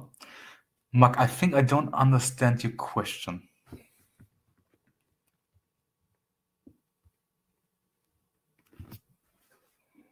Data sending from header to body, body to body, body to header, which takes more time. Oh, you're very welcome for the presentation. But if you want to, please stay in the call. Um, we'll cover a multiple choice question just to test your quiz and uh, answer any questions you have. And at the end, I also have an exercise. Um,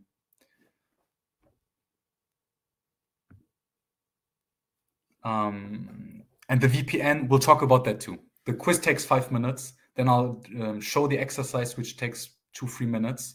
And then we'll talk about questions you have. Anything that you want, promise. yeah, for now, Mark, maybe we go through this question later. I'll check how many people we have. So we have three people in the Kahoot quiz right now. If you're interested, just go to kahoot.it and enter this game pin. And um, we can play some quiz and test if you understood everything correctly. I'll give you 20 seconds, 30 seconds, and then we'll start and go through it together.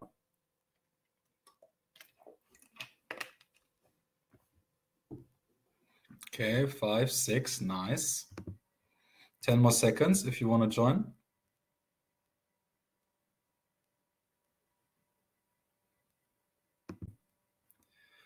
All right, let's start this off.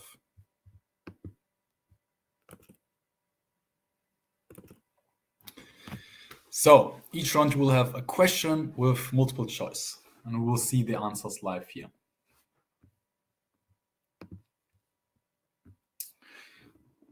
So the question is, LANs are smaller networks connecting devices that are geographically close or geographically spread networks that connect many devices.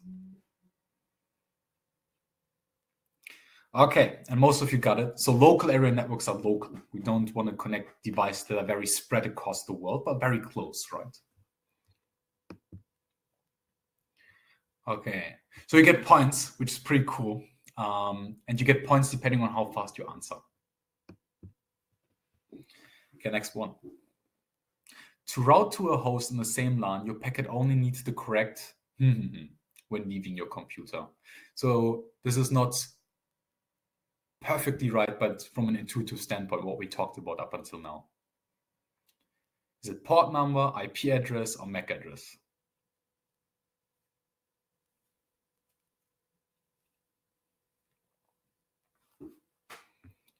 So if it's in the LAN, we really care about the MAC address. I mean, there are some packets like the ARP packets, like the you remember the ARP reply and the response. They don't need uh, IP addresses necessarily, um, but they're very specific.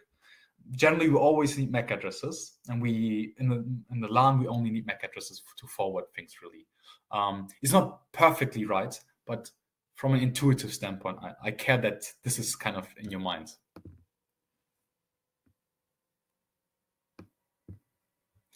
Okay, next question.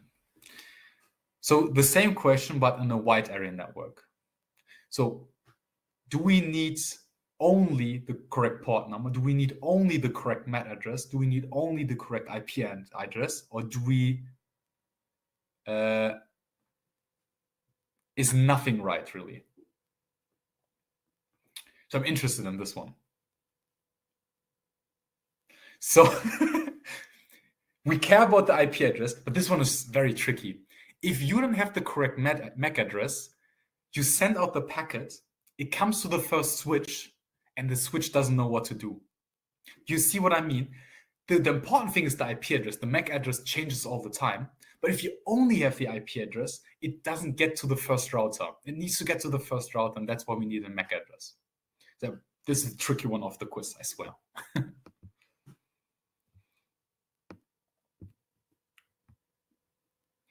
So next one, wide area networks are basically are LANs that are connected through routers. Is this correct or not? Okay, this one is a quick one. I hope we get 100% correct here. Nice. It's correct, like we talked about. Okay, Angela leading with 27 points. When switches receive frames, they will usually change the MAC address of the packet, the target MAC address of the packet. Is that correct? When switches receive frames or packets, whatever you want to call them, they will change the MAC address. Is that correct or false?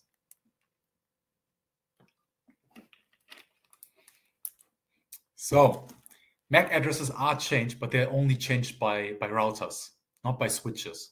Switches are basically invisible in a sense. They don't change anything. They only push the um, the packets to the right to the right direction. Okay. But then yeah is leading now. Next question. Network models are based on components, protocols, or layers.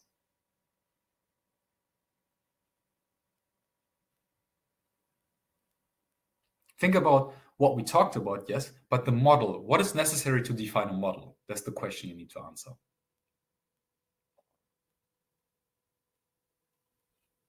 Right. So we talked about protocols in this network models thing, but the way they're defined, they're always based on layers, right? That's the way they're defined. And within these layers, we have protocols. Okay, nice. Let's keep going. The ARP protocol is used in order to find the IP address of a device given the MAC address of the device. Is that correct? ARP protocol is used in order to find the IP address given the MAC address.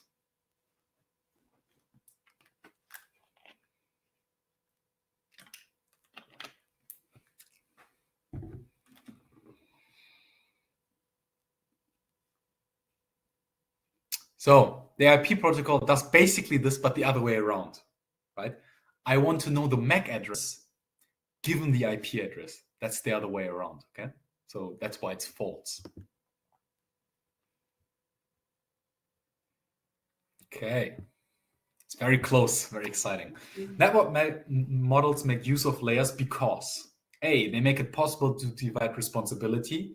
B, they correctly capture the reality of how computer networks work. C, we can have many different models that all represent the same. This one is tricky. Let's see. Why do we have layers? Yes, very nice. So they make it possible to divide responsibility. Like I felt like I told a million times, hopefully. Um, B, in a sense, you know, why is it not this one? Why is it not capturing reality? Well, there is no physical layer. There is no application layer in your computer. There's no wall there differentiating one between the other. It's something that we make to make things more simple and have an abstract representation of what happens. It's not reality, really. All right. Next one. The physical layer is responsible for what? Transmission and routing of raw bits, correct transmission or correct routing?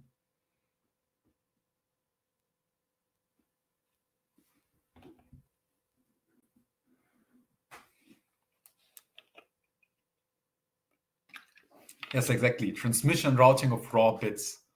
Um, so writing onto the cable and from it back to bits, right?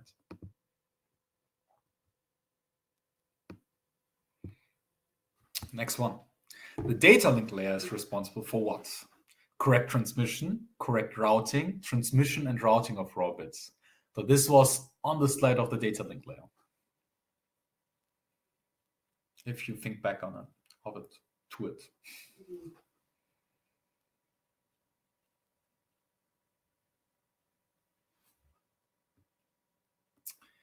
So transmission and routing of raw bits was the physical layer. The data layer had some correction um, methods as well. Okay, so it, it, it was responsible for making sure that communication in the LAN works out correctly as well. Uh, next one. Without the functionality of the network layer, we would have problems with what? Just turn on my light real quick. What we would have problems with?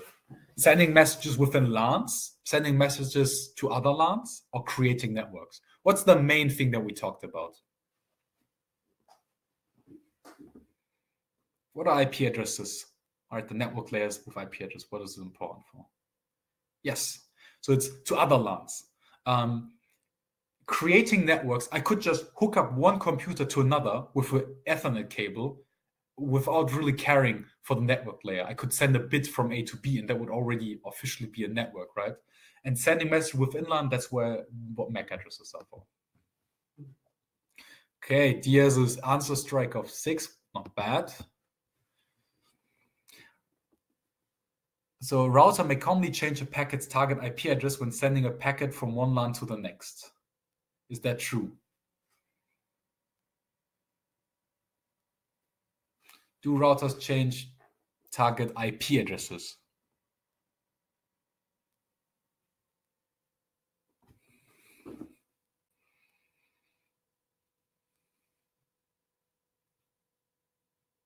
So why is this false? Well, it's IP addresses, guys. Remember, the IP address always stays the same, right? It always stays the same. We change the MAC addresses. So this was a bit tricky, right? A bit of a trap. Um, but it's the MAC addresses that are changed, right? Every time we leave a local area network and get to a new one, that's when we change it. The IP address stays the same throughout this whole journey. Okay. Last three questions. For voice call, you would prefer UDP or TCP?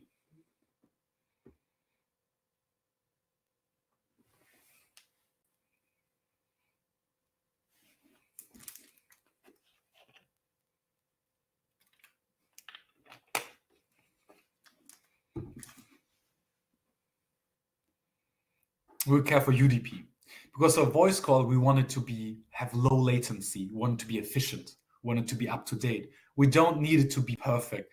Sometimes in a voice call, um, you might not hear me for a second, but that isn't too too important. The next one, for a file transfer, you would prefer. I talked about this a lot. Guys, if this is not 100%, huh?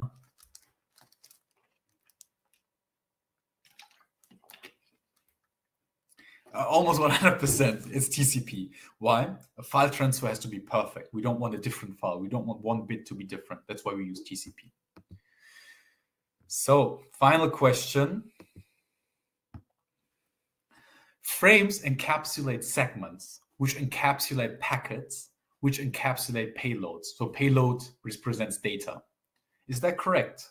This kind of encapsulation hierarchy. Frames are above segments, then packets, then data. False. This is false. Why is it false? I mean, all the right words are in there, um, but it's so first it's the data, then we put something around it's a segment, then a packet, then a frame. This one basically switches the order of packets and segments. Okay. All right. Let's see. Angela's on third place. Then I have Daniela, or pronounced maybe differently. And first place, we have D. Good job. um, with runners up being Bang and B. So this is so we're getting to the end of the workshop. Um, let me have a quick uh, what we have here. So what will happen now is that I will show you the exercise, the final exercise, two, three minutes. This is something you don't have to do. It's something for you to do when you're at home. Um, and it's something, it's a hard task. It's challenging, but it tests. I, I tried to make this presentation only for this exercise, right? I didn't do the exercise for the presentation, but the other way around. So if you're in the mood, give it a try. Um, I'll show it to you and explain it real short, and then I'll release the sources where you can find this exercise and a solution to it. So the exercise looks like this. You have this network, right? You have a computer, you're the computer on the bottom left, and you wanna you you're on your computer, remember the introductory example, and you type in www.codelabsacademy.com. And then things happen, right? There are ARP requests left and right. There are DNS requests. There are TCP, TCP handshakes. Um, so this happens, right? Um, what we can see here is that we have routers and switches, right, with the important interfaces having IP and MAC addresses. What we also have here is a local DNS server, the TLD, the root server, the authoritative server, right? And it makes sense that the authoritative server that's on the top right is in the same local area network as the the the, the web server of Code Labs Academy, right? And the, the task is that you're positioned on the bottom here, right, where this I is. And you're looking at this on this cable. Your task is to note down and to, to list all the packets that you would see if something like this happened. Okay. So what I want you to do is to have this kind of list. You would have uh, columns for different features of packet, right? So the rows represent packets that you see. So you have a source MAC address, a destination MAC address, source IP, destination IP, source port number, destination port number, UDP, and TCP, whether which one of these is used, and the protocol. And as a small tip, the first packet that you will see is an ARP request. Why? So if you open your browser and you type in www.codelabsacademy.com, your browser will ask, well, I need the IP address. I don't know what to do with this. So I need to do a DNS request. It knows where the local DNS server is. Um, so we'll send a packet, but since it doesn't know any MAC addresses, it will do the first thing you'll see is the ARP request, right? From this router here to the server. Because this router knows the IP address of, because let me tell this a bit more structured, sorry. The computer on the bottom left will know the IP address of the local DNS server by default. Um, and will send this packet with the IP address to this router in the middle here. This router then also knows the IP address because it's on the packet, but doesn't know the MAC address, right? And the first thing this this um, this router would do is make an ARP request for the MAC address of this local DNS server. And this is what we would see here. The, this is the source of this source MAC address of this router. It's broadcasting the ARP request, right? That's why we have all S's, F's and this is something I give to, which we didn't talk about. Um, uh, ARP request doesn't have an IP and a port, right? It doesn't use transport layer technology. It's the only thing that we talked about that has this property. ARP requests and ARP replies. Anyways, fill out this list. I can give you the hint. It's 11 packets that you will see. Um, and what we will do now is to release some things for you, okay? So the first thing that I'll release is a link to the exercise and the solution that you hopefully get. Um, if you press undo it, you will be uh, redirected to the GitHub page where the exercises and the solution. Right? Try to have a look at the exercise and give it a try. Try as many packets as you can and then look at the solution. The next thing that I'll send out is um, the link to apply to our bootcamp, right? So this is if you are interested, because this is what we will doing. This is everything that we will doing is talk about interesting stuff like computer networks um, with me and Priyanka and Amel. We'll have daily sessions um, and we'll talk about the basics of computer networks, but then go on to the cybersecurity concepts, right? How can you misuse TCP IP? How can you use misuse TCP? Everything like that. So just have a look at the bootcamp um, and see maybe there's something for you. If you have any problems, if you have any questions, you can ask us. Um, the last thing before going into questions is, and we're talking about VPN, is I would appreciate if you um, just give us some feedback, right? Um, because I do this presentation, and if you liked it, it would be nice for me to know that you liked it. It would be also really nice of you if you didn't like it to tell me what didn't you like uh, my face maybe? I can't change that. But what about my explaining method right? Maybe there's something i can talk about there. Um, this is important for me. If you like if you like what i did today that would be really nice. If you tell me that as well and if there's anything you would like me to improve on i would appreciate that as well. Okay? So i would close we perfectly did two hours now. Close the official part of this workshop. Um, thank you very much for being here I had a great time talking. I hope you enjoyed it as well and learned a thing or two. Um, if you still have questions uh, or you want to listen to me explaining the idea behind VPNs, stay in here. Uh, otherwise, the official part is now over. Okay. I would now look in look in the chat and ask and try to answer questions.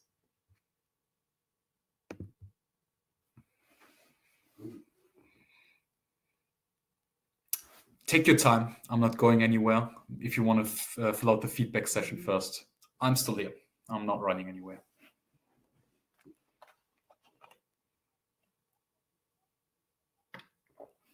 Did we do the VPN? No, we didn't. This is a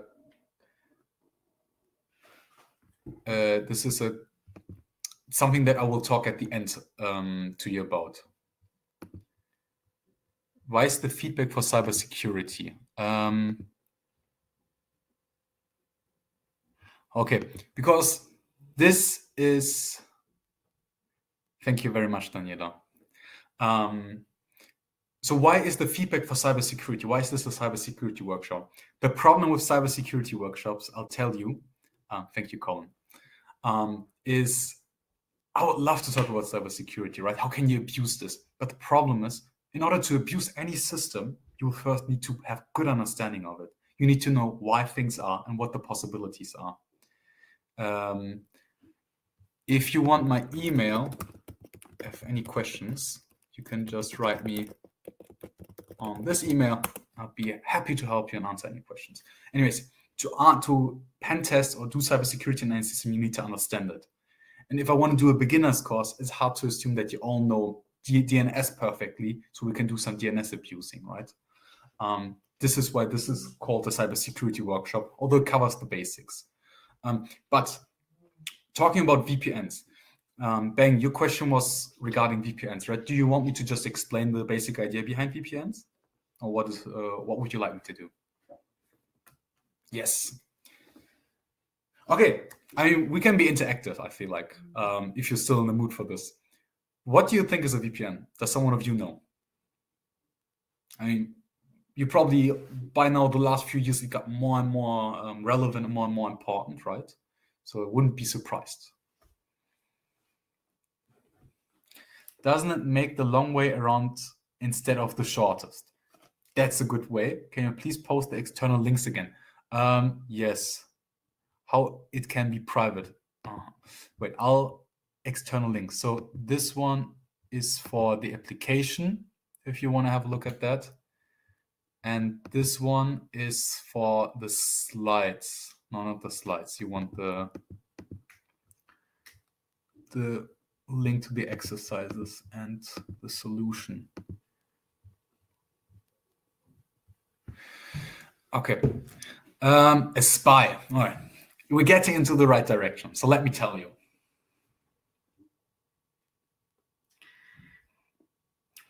Let's make this interesting. Let's say I'm a hacker, right? And there's a website I would like to hack. So I go on this website and I have a really nice vulnerability and a nice exploit that I want to use, right? And I crack the website, let's say, I crack the login, I get like really nice root privileges, and I get like a lot of data, maybe some logins, maybe some credit card. I, you know, I get something. I get something out of it, and then the job is done, and I'm happy, right? I got what I wanted. What's the problem? Well, the problem is every time you access a system and you visit a website, you do a request. Remember? So if you send a request, it also contains a source IP address. So if you ever send a packet to me as a server that you use to, to basically uh, breach my defenses with, I know your IP address in this general situation. Why is that a problem? IP addresses are changing dynamically. Well, they are. But the ISPs, the internet service providers that you get the IP address from, they know which IP address you had at which time point. So if the police is trying to find someone that hacked the website, they ask, okay, I have this IP address which ISP is uh, renting out this IP address. And they have to tell them. They have to, oh, it's me, I'm Vodafone. I gave uh, this guy Devram, I, I gave him this IP address on this day. And I'm as a hacker, I have a problem, right? This is the problem that we have. So this is from a hacker perspective. Why would you as an individual care for? Because the hacker doesn't want his or her IP address to be known, right? This is the, the idea behind VPNs. So why wouldn't you do that? Well, the problem is nowadays in the digital world, you're getting tracked, right? Um, you get tracked everywhere. IP addresses, so multiple servers will look at which IP addresses are used to access them. And they can see, oh, this IP address accessed me and you and then that. Maybe it accessed, I don't know, uh, a website talking about illness and then a website talking about, I don't know, medical supplies. And together these websites can build a profile of you. You don't need that, right? Maybe you don't want that. It's not that bad all the time, but it can be. You don't need everybody to know your IP address, right? Another thing, if you have Netflix, right? Um, some of you do other services. You might know that some of the Netflix shows are available in your country, but not available outside of it. If you ever went to the um, like international travel, you tried to look up your favorite TV show, maybe you're like, oh, this this is not available in the country currently yet because of licensing, right? In Germany, they like Netflix Germany bought a show that uh, Netflix Slovenia didn't, for example, right? How do they know where you are? How do they know that you're not in Germany right now? By the IP address. They can't tell exactly where you are, like your home address, but they can tell which the biggest internet service provider is in your area. Right? So again, a situation where it would be nice to have a different IP address than your original one, right? And this is where VPNs come in, virtual private networks. So the way that you will get see them get used most of the time is that there are servers, right? I'm, for example, I'm a VPN, let's say. Um, I'm not VPN, you could say. The way this works is that you come to me and you say, hey, I don't want my IP address to be leaked to everybody. I want to be able to have a different IP address for my personal reasons. I don't really care as the provider, right? Now, what I'm saying is, no problem. Um, give me money per month or per year, right? That's how this kind of kind of works. And what happens is if you send a packet, right? Let's say you send a packet um, with your IP address being one, not a real IP address, but let's say, right, you're sending an IP address, uh, a packet with source IP address one and destination IP address nine, okay? So it's from one to nine. If anybody looked at this packet, they would see, oh, it's from one, right? So what you do is instead of sending it to nine, you send it to me. You send it to me, I get it, and I put an extra layer on top of it. And I say, this packet is from me, actually. It's not from one, it's from me. It's my packet. I'm the VPN provider, it's my packet. And I basically put a layer around it where on the layer, it says that the packet is coming from me. And then I send it to the real destination. The real destination gets it, will reply to it hopefully, and send it to me as the VPN provider because it thinks I'm the real person asking. I get it. I will then basically change the IP address again and send it back to you, right? So what happens is the server doesn't know your IP address. You got your information, but you, you never leaked your IP address. That's the basic idea. Um, so bang, IP redirection on demand and unrecorded then. Basically, um, so IP redirection is a word that basically says what I'm saying, but it's not the perfect word for it. Uh, basically IP, uh, packet encapsulation. Instead of giving your packet, your nice, truthful packet, I put extra layer on it and make it look like it's for me.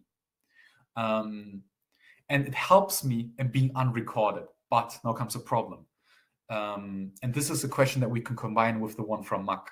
If I'm a hacker and I hack a website using a VPN, the website doesn't know my IP address, but it knows the IP address of the of the um, VPN provider, right?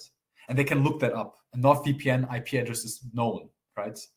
Um, so they'd be like, huh, someone hacked me and they used your service. And by law, in many, many countries, they can go to the VPN provider and say, tell me who did it. And a lot of VPN providers, and this is if you ever decide to get VPN, one thing you should look out for is whether they log, as a LOG, logging. Well, some of them will note down, okay, I got this packet from this person. I pretended to it to be my my packet, right? Um, they keep on doing this. So if you ever screw up and the police comes to me, I can tell them, oh, it's him. I, I did it for him, but it wasn't me, right? This is something you may not want, especially if you're a, a, black hat hacker, right? Someone who's very evil and doesn't want to get caught. This is something you don't want, right? So you want a VPN service that doesn't use this. Furthermore, this is something that Max said, can you use two VPNs to be more secure? Yes, you can. Um, so if you do it properly, you have many, many VPNs. uh, like very, very, very properly, if you're very secure, like insanely, you as a in the normal private person, you would never do this. You would have like five VPNs. First send it to this one, then to this one, then to this one. So by the time it arrives at the target, in order to trace back the steps, it would be such a hassle, maybe through five different countries, you know, who's going to go through all that trouble and look that up? That's how you can use VPNs to hide your IP address for whatever purpose you want. And for example, what you can do with something like NordVPN, they have these VPN stations everywhere in the world. Maybe there's a TV show you want to, uh, there's a TV show that you want to see, and that's in Brazil. But you can only do it with an IP address from Brazil. What you do is you get, for example, NordVPN, and you can choose which of the servers it has on the world it should route from. You choose the one in Brazil. So you send a packet to the one in Brazil. This one will make a request to Netflix. And because now it's this request is done by a Brazilian IP address, it will give the TV show back to you. So you can decide where it appears you're from. Okay. Um, can you explain? Wait, quick question, Bang. No law yet to enforce logging. Very, oh, I don't know that perfectly. There are, so there are VPNs that offer it without logging. Very few, it got less and less. Um, some countries it's enforced, some it isn't. Like for example, Switzerland is a country um, where I did my master's degree, where it's harder. They're much more privatized than that. Other countries are very easy. They're like, oh, you have to tell us everything, right? Um, big. This is a very interesting question. Is privacy good or is it bad? It helps the bad people, but it also helps people to be protected. You know, um, so it's not enforced everywhere as of now. Um, so can you explain end-to-end encryption? End-to-end encryption. So if you know what encryption means, is basically hiding the, the message, right? So uh, very stupidly said, if I have a message I send to you, everybody can look at it and know what I say, say, right? What I can do is encrypt it with a key, is basically lock the message and no one can recognize what it means. And only you and me have the key. In this scenario, it's end-to-end encrypted. Okay, because the only person that can open this is me and you, the receiver and the sender. What is the alternative? For example, if you have WhatsApp, I think, um, maybe not WhatsApp, maybe Telegram, I know for sure. So Telegram, what it can do or may do, or like an instant messaging app, if you send a packet to your friend, instead of going directly there and being locked um, by you and this person. It's being locked by you and the, the instant messaging server. So you send it, it's encrypted, gets to the server, they open it, and then encrypt it again to send it to, to the other person, right? If you have this, this cut in the middle, then it's not end to end. End to end means it can't or it's not decrypted from the moment it's sent out to the moment it arrives at its final goal.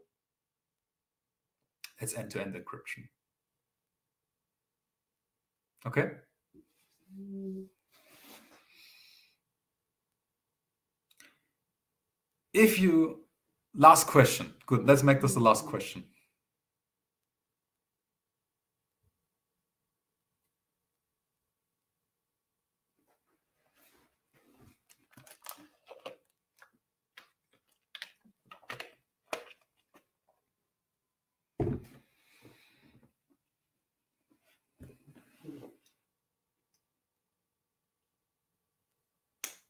Maybe last question.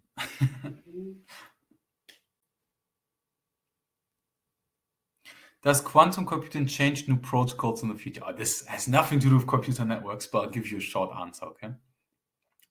So, what it does change is cryptography. So, cryptography deals with how we encrypt and decrypt things securely, right? So that no one can crack it, basically. Um, uh, this is a very complex topic. I know nothing specific off really, but I know some of it. Basically, com quantum computer makes certain things which would take forever to do much simpler, more realistic, right? If I had to guess a password that is 10 letters long, right? If it's a good password, it would take forever to go through all the possible combinations, let's say.